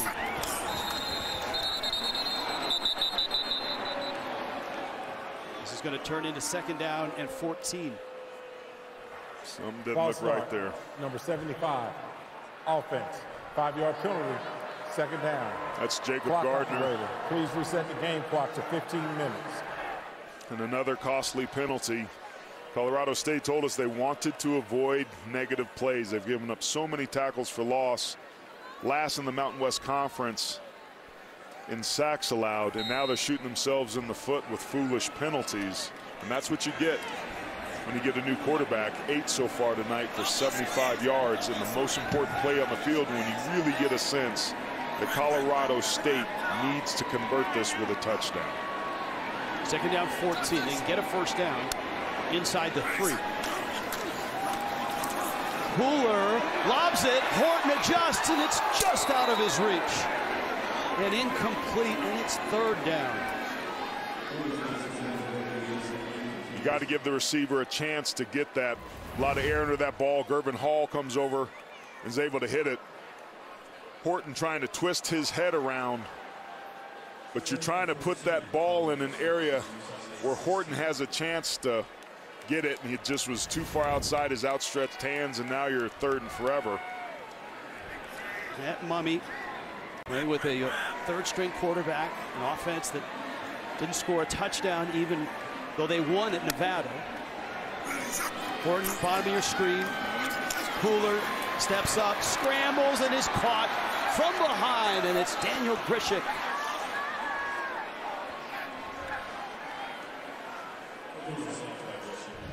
Great job by the Aggies of getting themselves off the field. Grzesiak coming over the left tackle there. Beats Jacob Gardner. He's been wreaking havoc all night long on the outside edge, and now he doesn't have Byron Vaughns' help because he hasn't come back into the game, so he replaces him and gets himself home, and now Colorado State forced to kick the field goal. With the way that this is going, dink and dunks and three points at a time I'm going to get it done. Michael Boyle knocks this one through. Rams put points on the board. Still trail by four. College football on CBS Sports Network is sponsored by Marco's. Pizza lovers get it. By Old Trapper Beef Jerky. What's your beef? And by Geico. Save even more when you bundle home and car insurance. We told you it was Parents Weekend and it was homecoming, and it's also the fourth largest crowd in this stadium's history. Over 35,000 are here, and they've seen a, just a crazy game with plot twists and injuries and guys coming off the third on the depth chart, fourth on the depth chart, playing key roles in this been an incredible job by these coordinators trying to pull rabbits out of their hat and give themselves a chance to win. And this thing feels like it's long from over.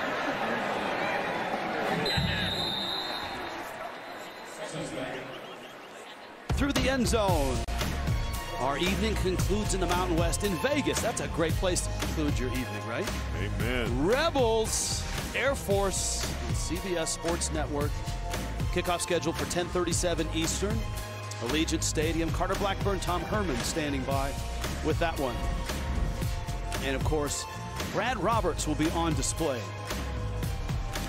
What an incredible running back he is, and Air Force is the nation's best rushing offense. You see the ranks there, 352 yards a game, which is pretty impressive for this Aggie defense that held them to 264 and less than five yards a carry last week. Utah State, and there's that guy again, Tyler, well over 100 yards now, eight more on that carry, second down and two from the 33. Hats off to what this offense has been able to do, just dialing up the run game here in the second half. Colorado State has to be able to bow its neck.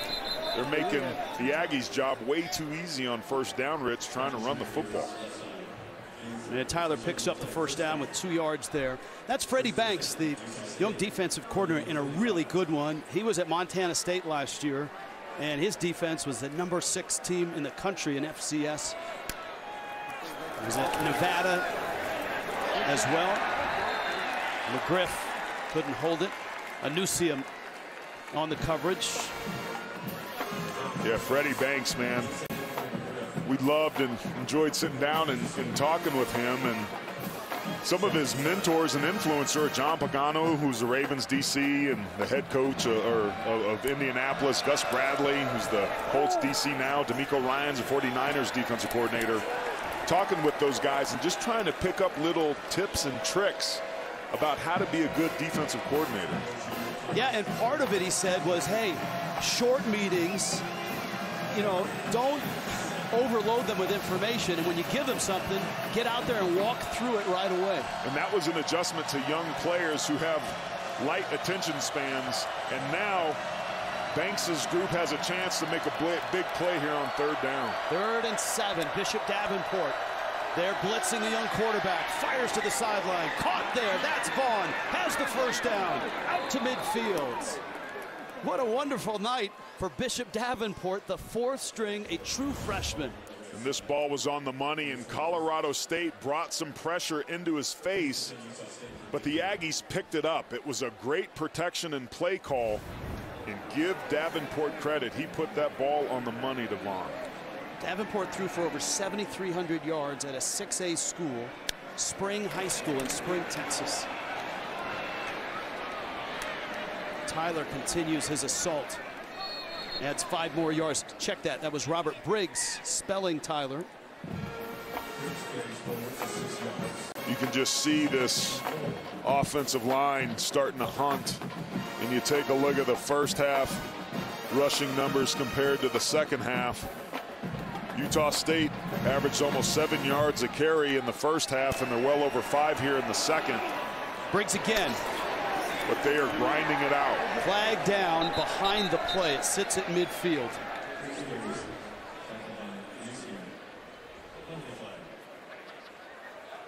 Holding, number 74, offense. 10-yard penalty, second down. Neither of these teams are real good when it comes to penalties. Both are giving up a lot of yardage and uh, having a lot of plays called back. Yeah, Dolphin was the one that had the dribbler snap. Remember that? That caused all the havoc. He's right there in the middle on the back block. Got his left hand right around the waist and then a takedown to the ground. Just let him go, man. Like that's the coaching point there. If you're beaten at a position because your feet weren't right and your landmarks weren't right, delay him as much as you can and live to play another play because as well as you've been running the ball, now you got to start to think to get away from that, and it really puts you behind the sticks in a disadvantageous position. On third down, deep throw, McGriff, the intended receiver. Now, you know what? Uh, this is the second time this has happened. The stick, the scoreboard on the field had third down. There's second down. Now it's third down. I, I saw what you saw, Rich. This is a different play. This isn't the right play, but we were going to show you the difference in the the down marker. But I saw it like you saw it, Rich. It had third down, but now they finally got it right. Down the distance is correct. It's third and 14. 46 yard line.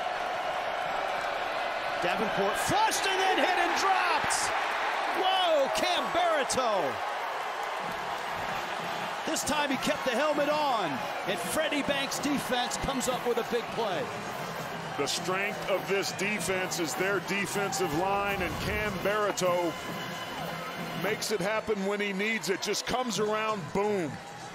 Bishop Davenport was stepping around, thought he had a free release, but he holds contained and gets Colorado State's first sack of the night, and it was a big one. Well, they almost blocked another punt. Line drive kick here. And a good bounce if you're Colorado State. Wow. It's a four-point game. And it's just, it's such a crazy, wild game with, with a third-string quarterback, a fourth-string quarterback. And it seems like it's going down to the wire.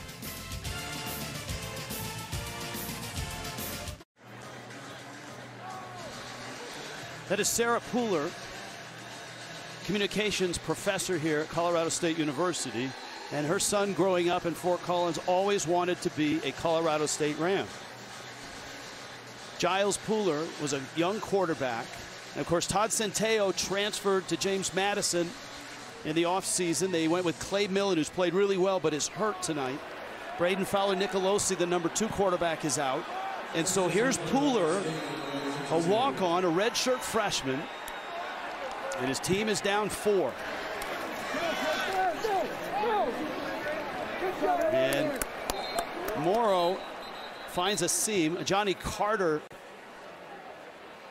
with the tackle. There's a flag down back at the 28-yard line. Holding, number 67, offense. 10-yard penalty, first down. And of course, we brought photos. Age 12, age 15.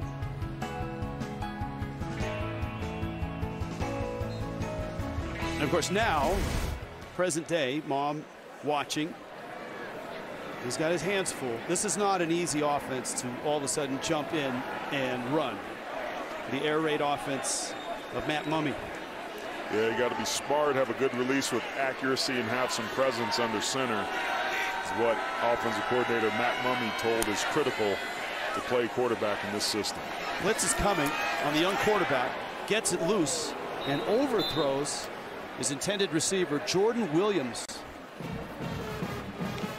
This is an example of being young because keep your eye right there. He's got an open throw, but he just misses it. And then he forces it, and that's just the sign of being young, and that's the thing that Matt Mumme has to consider when he's calling these plays. You've got the best wide receiver in the Mountain West Conference, and Tory Horton. He's open backside, and you don't get the ball to him. Zero catches so far for the guy that leads his conference in yards per game.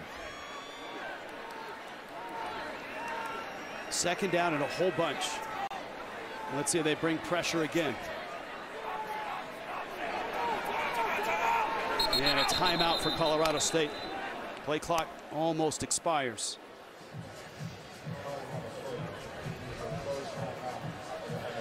Seventeen thirteen Utah State on top. We'll step aside from Fort Collins.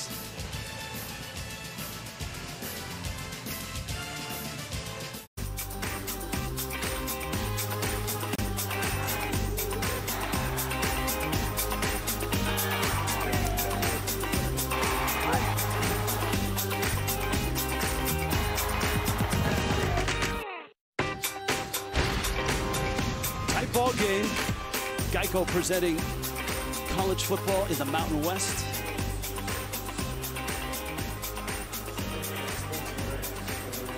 The 17-13 game. 10-14 left in the ball game. Giles Pooler from the 21. Pooler hit as he throws. Ball is out. Bivens lands on it. I think it may have been taken from his hand before it went forward. Yeah, Dante Keys has had a, a rough night tonight. He's going to come off this outside edge. As an offensive lineman, you've got to be able to hold up, and he just gets his hips twisted. And Daniel Grzesiak The defensive end position in combination with Byron Vaughns before he went out has been absolutely dominant here tonight. Third straight lost yardage play here for the guys in green. And that means it's third down and 29. Just punt it now. Or give it to Morrow. He'll squeeze it and hold it and get maybe six yards. Patrick Joyner made the stop. So the punt team has to come back out. That man's defense playing well. Ephraim Banda in his second year as the defensive coordinator. What a year it was last year for Utah State. Incredible year.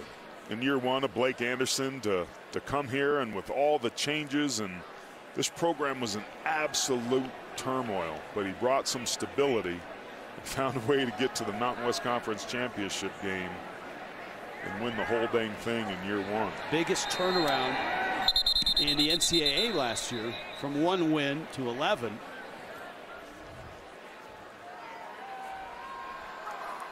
False start, number 32, offense.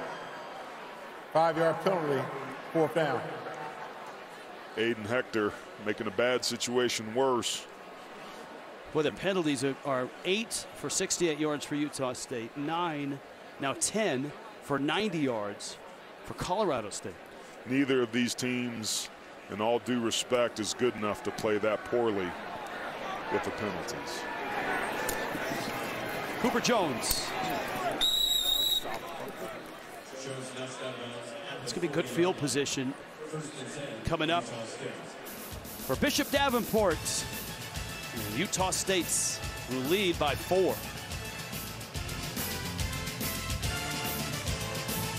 Tonight's player of the game is brought to you by Old Trapper Beef Jerky. Now this might surprise some folks, but it shouldn't if you've been watching this game. Daniel Grzesiak has been a manimal out there on the defensive side. Defensive coordinator Ephraim Banda wanted some penetration. He wanted to wreak havoc, and who's been leading that charge is Daniel Grzesiak. A couple sacks, three and a half tackles for loss, a quarterback pressure, a forced fumble, a pass breakup, and a partridge in a pear tree. Number nine has been unblockable tonight, and a big reason why the Rams have struggled offensively. What was it, pressure and puncture? Pressure, puncture, and penetration, and boy, he's been doing it. Davenport, McGriff in traffic, double teamed, and it's broken up. Henry Blackburn, Jack Howell on the coverage. Man, watch Henry Blackburn coming over. He's got his eyes on this ball the whole time. He thought he had an interception, and he would have, except he gets tangled up with his own player there in Howell, who knocks the ball out of Blackburn's hands. Howell's had a busy night himself. He's got 11 tackles to lead Colorado State. That's to the 44. If you're Utah State, the only time the Rams have gotten into the red zone tonight has been on turnovers or blocked punts. So from here on out, you're thinking ball security. You're losing this game right now with a blocked punt and minus two in the turnover category. Ball security is the utmost importance as you try to pick up these third downs and keep the drives going. They're down five. Tyler in the backfield with Davenport. Davenport in trouble, flushed, stumbles, and is back at the line of scrimmage. This will be fourth down and a long four. James Mitchell made the stop. Nice job by the Rams getting themselves a three and out. That play for Utah State didn't have a chance, Rich. There was communication. There was a coach on the sideline trying to signal things in. Got a new quarterback, doesn't know what's going on. There's pressure in his face. He does the best he can to make something out of nothing. But the bottom line is the Aggies punt once again. Again, if you've just joined us, we have a fourth string quarterback in Bishop Davenport for Utah State facing a third string quarterback, a walk-on, Giles Pooler for Colorado State. The Aggies have lost two quarterbacks tonight to injury and already have their number one, Logan Bonner, out for the year. Despite that, it's been a pretty entertaining game. 17-13, Utah State on top. Rich, why I love this game is because it's incredible when you have an opportunity to earn opportunities to win the conference in the division. You take a look at what's going on here. It's wide open on both sides. Boise State loses their quarterback. They fire their offensive coordinator.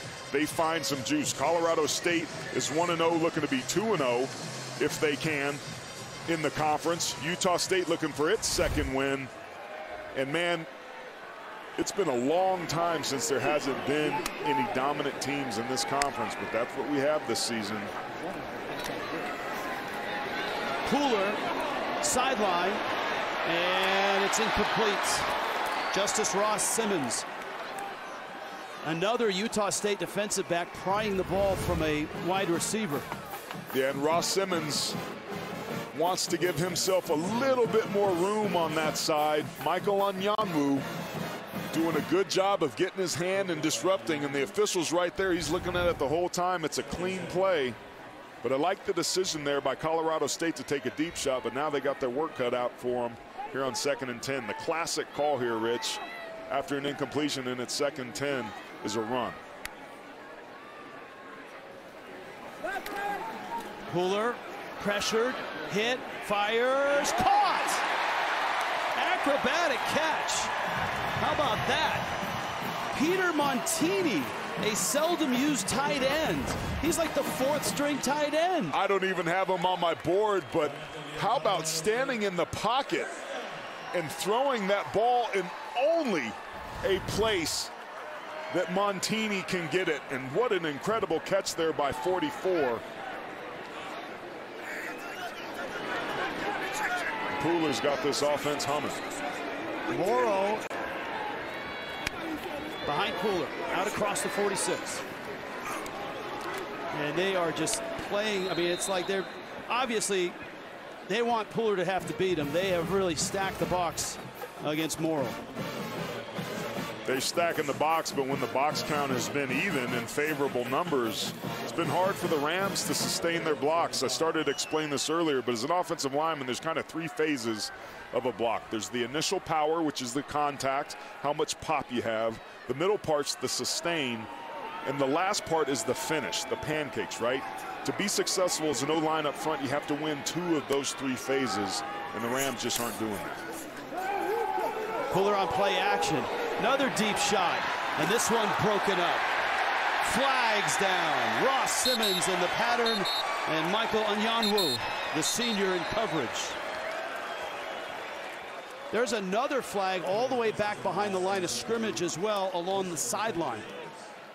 Yeah, last week it was Andre Grayson that got the pass interference in the fourth quarter against Air Force, and this time it's Anyanwu, who just made a great play a couple plays before, gets flagged There here. two fouls on the play. Ineligible player downfield, number 89, offense. The receiver was covered. Pass interference, defense. Those fouls offset, second down. Tanner Arkin is 89. He's the tight end. Well, the end man on the line of scrimmage is the eligible receiver, but if there's somebody outside of him, Yep.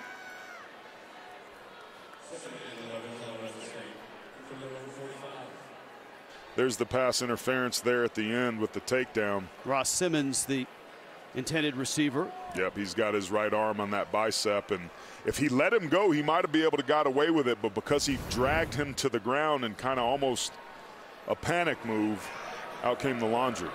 So the penalty's offset, although the officials are still huddled here. And we're back to second down and 11.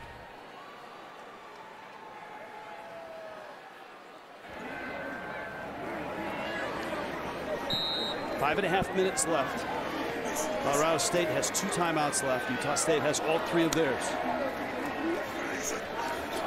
Pooler, big blitz, stands in front of it, fires over the middle, and it's picked off. Intercepted.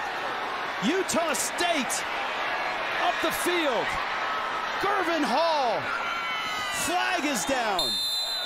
Hall is in. More flags are down in the end zone, but one is down back at the 37. Rich, this may be unsportsmanlike conduct, which could turn what was an incredible play for the pick six and possibly negate it. Yeah, th those flags came out as he came into the end zone. Because he dove unnecessarily, which is too flamboyant. All right, here's a, here's a look. Hall makes the pick. He's got a clear path to the end zone. At that point, there's a flag thrown back at the 38. Out of our view, obviously.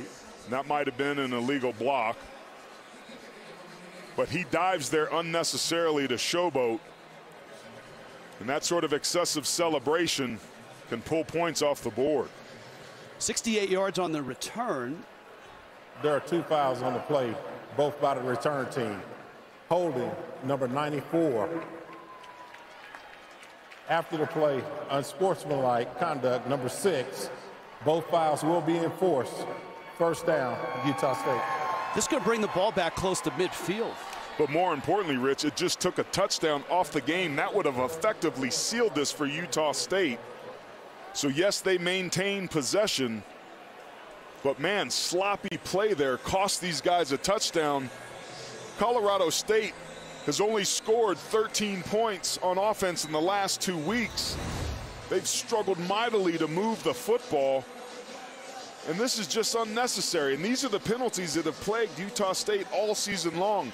And you like Hall made the interception. It was a gift thrown right to him. You don't need that foolish stuff there at the end because this is an opportunity. Let's say Colorado State's defensive line gets after the quarterback and causes a fumble. Now where you at? So the, the, the holding call is point of foul was where you mark the hold from. And then you add on the personal foul, which is another 15 yards. So this football comes all the way back to Utah State's 38-yard line. So they still get to benefit from the turnover, but there were easy points at their disposal, the easiest of the night, and they blew it. Davenport, quarterback draw. Second effort gets them to the 41.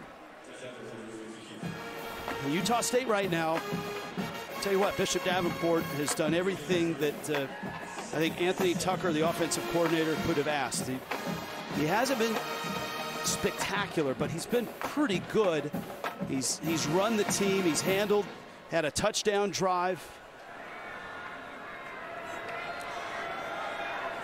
Davenport's three of nine through the air for 41 yards. He's run for 26, including a touchdown. Tyler the best thing he's done tonight, Rich, is not turn the football over and be able to turn around and hand it to Calvin Tyler. And you know what? For a fourth string quarterback who wasn't there in the spring, who hasn't had many reps at all in the fall or even in practice, that's an accomplishment. It's incredible. And it's a testament to Anthony Tucker, the offensive coordinator, for getting his guys ready to play and to adjust his play calling based on the skill set and abilities of his quarterback. Here's where Colorado State has hunted. A third down. Davenport rolls, looks, keeps it, and with a dive, I think he's got the first down. Incredible effort there by the freshman. He, Daquan Jackson made the stop. He avoided Mohamed Kamara, and that's not easy. Look, 42 Kamara is a great defensive player. Tyler got a piece of him and that's a first down. It moves the sticks. Incredible individual effort that we've seen from several players tonight. But that's how you win ball games. There's only three minutes and 38 seconds left in this ball game to extend that drive was seismic. And that was all second effort there by the true freshman quarterback, Bishop Davenport. Well, it's going to be a busy week for the training staffs of both of these schools, trying to get quarterbacks healthy for next week. No doubt about that. Tyler looking for a seam. Has a nice gain. We have about six yards. Jack Howell made the stop. Colorado State, remember, had to call a timeout earlier in the half. They've got just two left.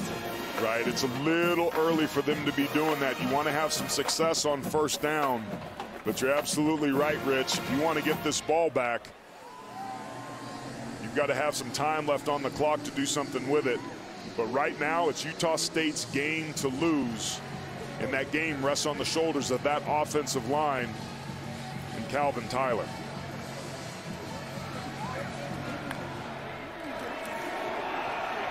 Tyler was short of the first down. This is going to bring up third down and about two. Barito made the stop. And they'll take their first time out here smartly to give them a chance to get a stop here on fourth down, maybe call their second timeout to preserve some time on the clock.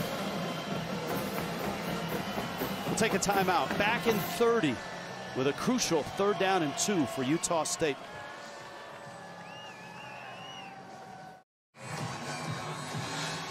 Just crazy circumstances here tonight for both coaches. Blake Anderson lost his number two quarterback, Cooper Legas, number three quarterback, Levi Williams. That man, Jay Norvell, lost two quarterbacks his last game.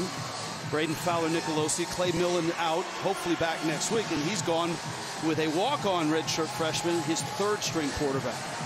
Third down and two for Utah State. Anderson has Davenport in the shotgun. That's close. Tyler backing up. And with that leg drive, he's right on the stick. And I think Norvell will want to take his next time out here. They're going to measure it and take a look at it. But he's short.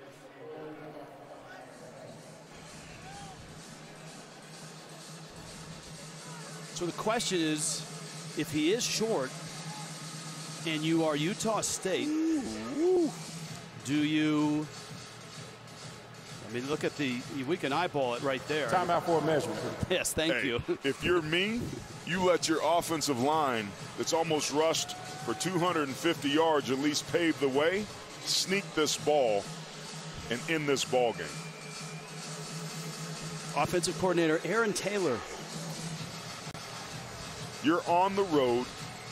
You've got faith in your defense, but Yeah. you do not want to turn the football over to anybody with this much time and give them a chance to win because they've only got a four-point lead.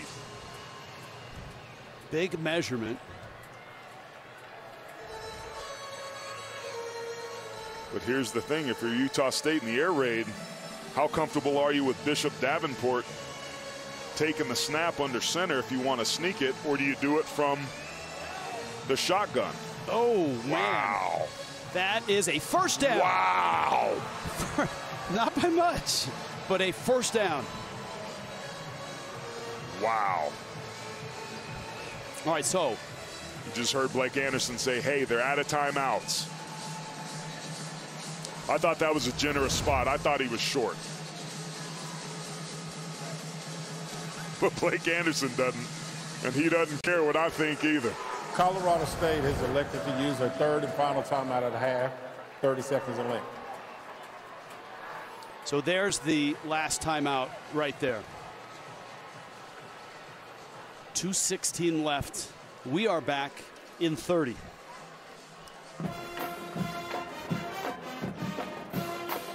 You called that touchdown. Saw that sack coming. Predicted the pizza tasted better than it looks. And of course, you knew the game's not over until it's over. So this NFL season, put your skills to the test with FanDuel's free games for a shot at $1 million in prizes. FanDuel, make every moment more.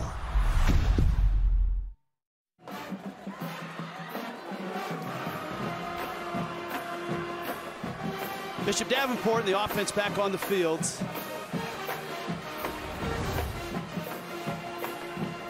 Another look at that run and the spot. Great effort by Tyler. Seems like on that surge he got to that the 41 and a half. It's enough for the first down barely. And now Utah State will keep it on the ground and keep the clock rolling. Colorado State is out of timeouts. Jay Norvell and his defense, they had some big moments, forced some turnovers. He blocked a punt. Did everything they could do to help an offense that was obviously overwhelmed with injuries to the quarterback spot. I've just been really impressed, Rich, with both of these teams in the effort, in their grit, in their resilience, both coming off four-game losing streaks. Found ways to win, and it always wasn't pretty. And now here Utah State's on the road, opening up another can of quarterbacks, and somehow putting themselves in a position to win this game here late. Tyler didn't want to get out of bounds, and he does smartly stop. Jack Howell made the stop. And the Clock melts under 120. You see that the play clock gets reset as soon as the official gets the ball and starts it to head it towards the spot. It's third down and nine. Yeah, there's going to be not a lot of time. Not a lot of time. In, no time, this my uh, third grade math education adds up. Second or two. Yeah, you want to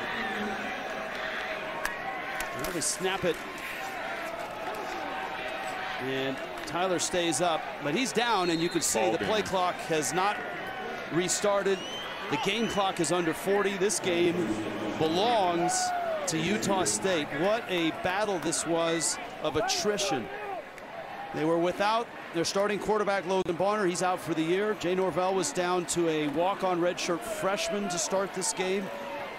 Utah State lost two quarterbacks tonight. Cooper Legas with a concussion and Levi Williams with a heel injury. And so Bishop Davenport, a freshman, comes off the bench. Wasn't there in the spring, got there in the summer. Not a lot of reps in the fall.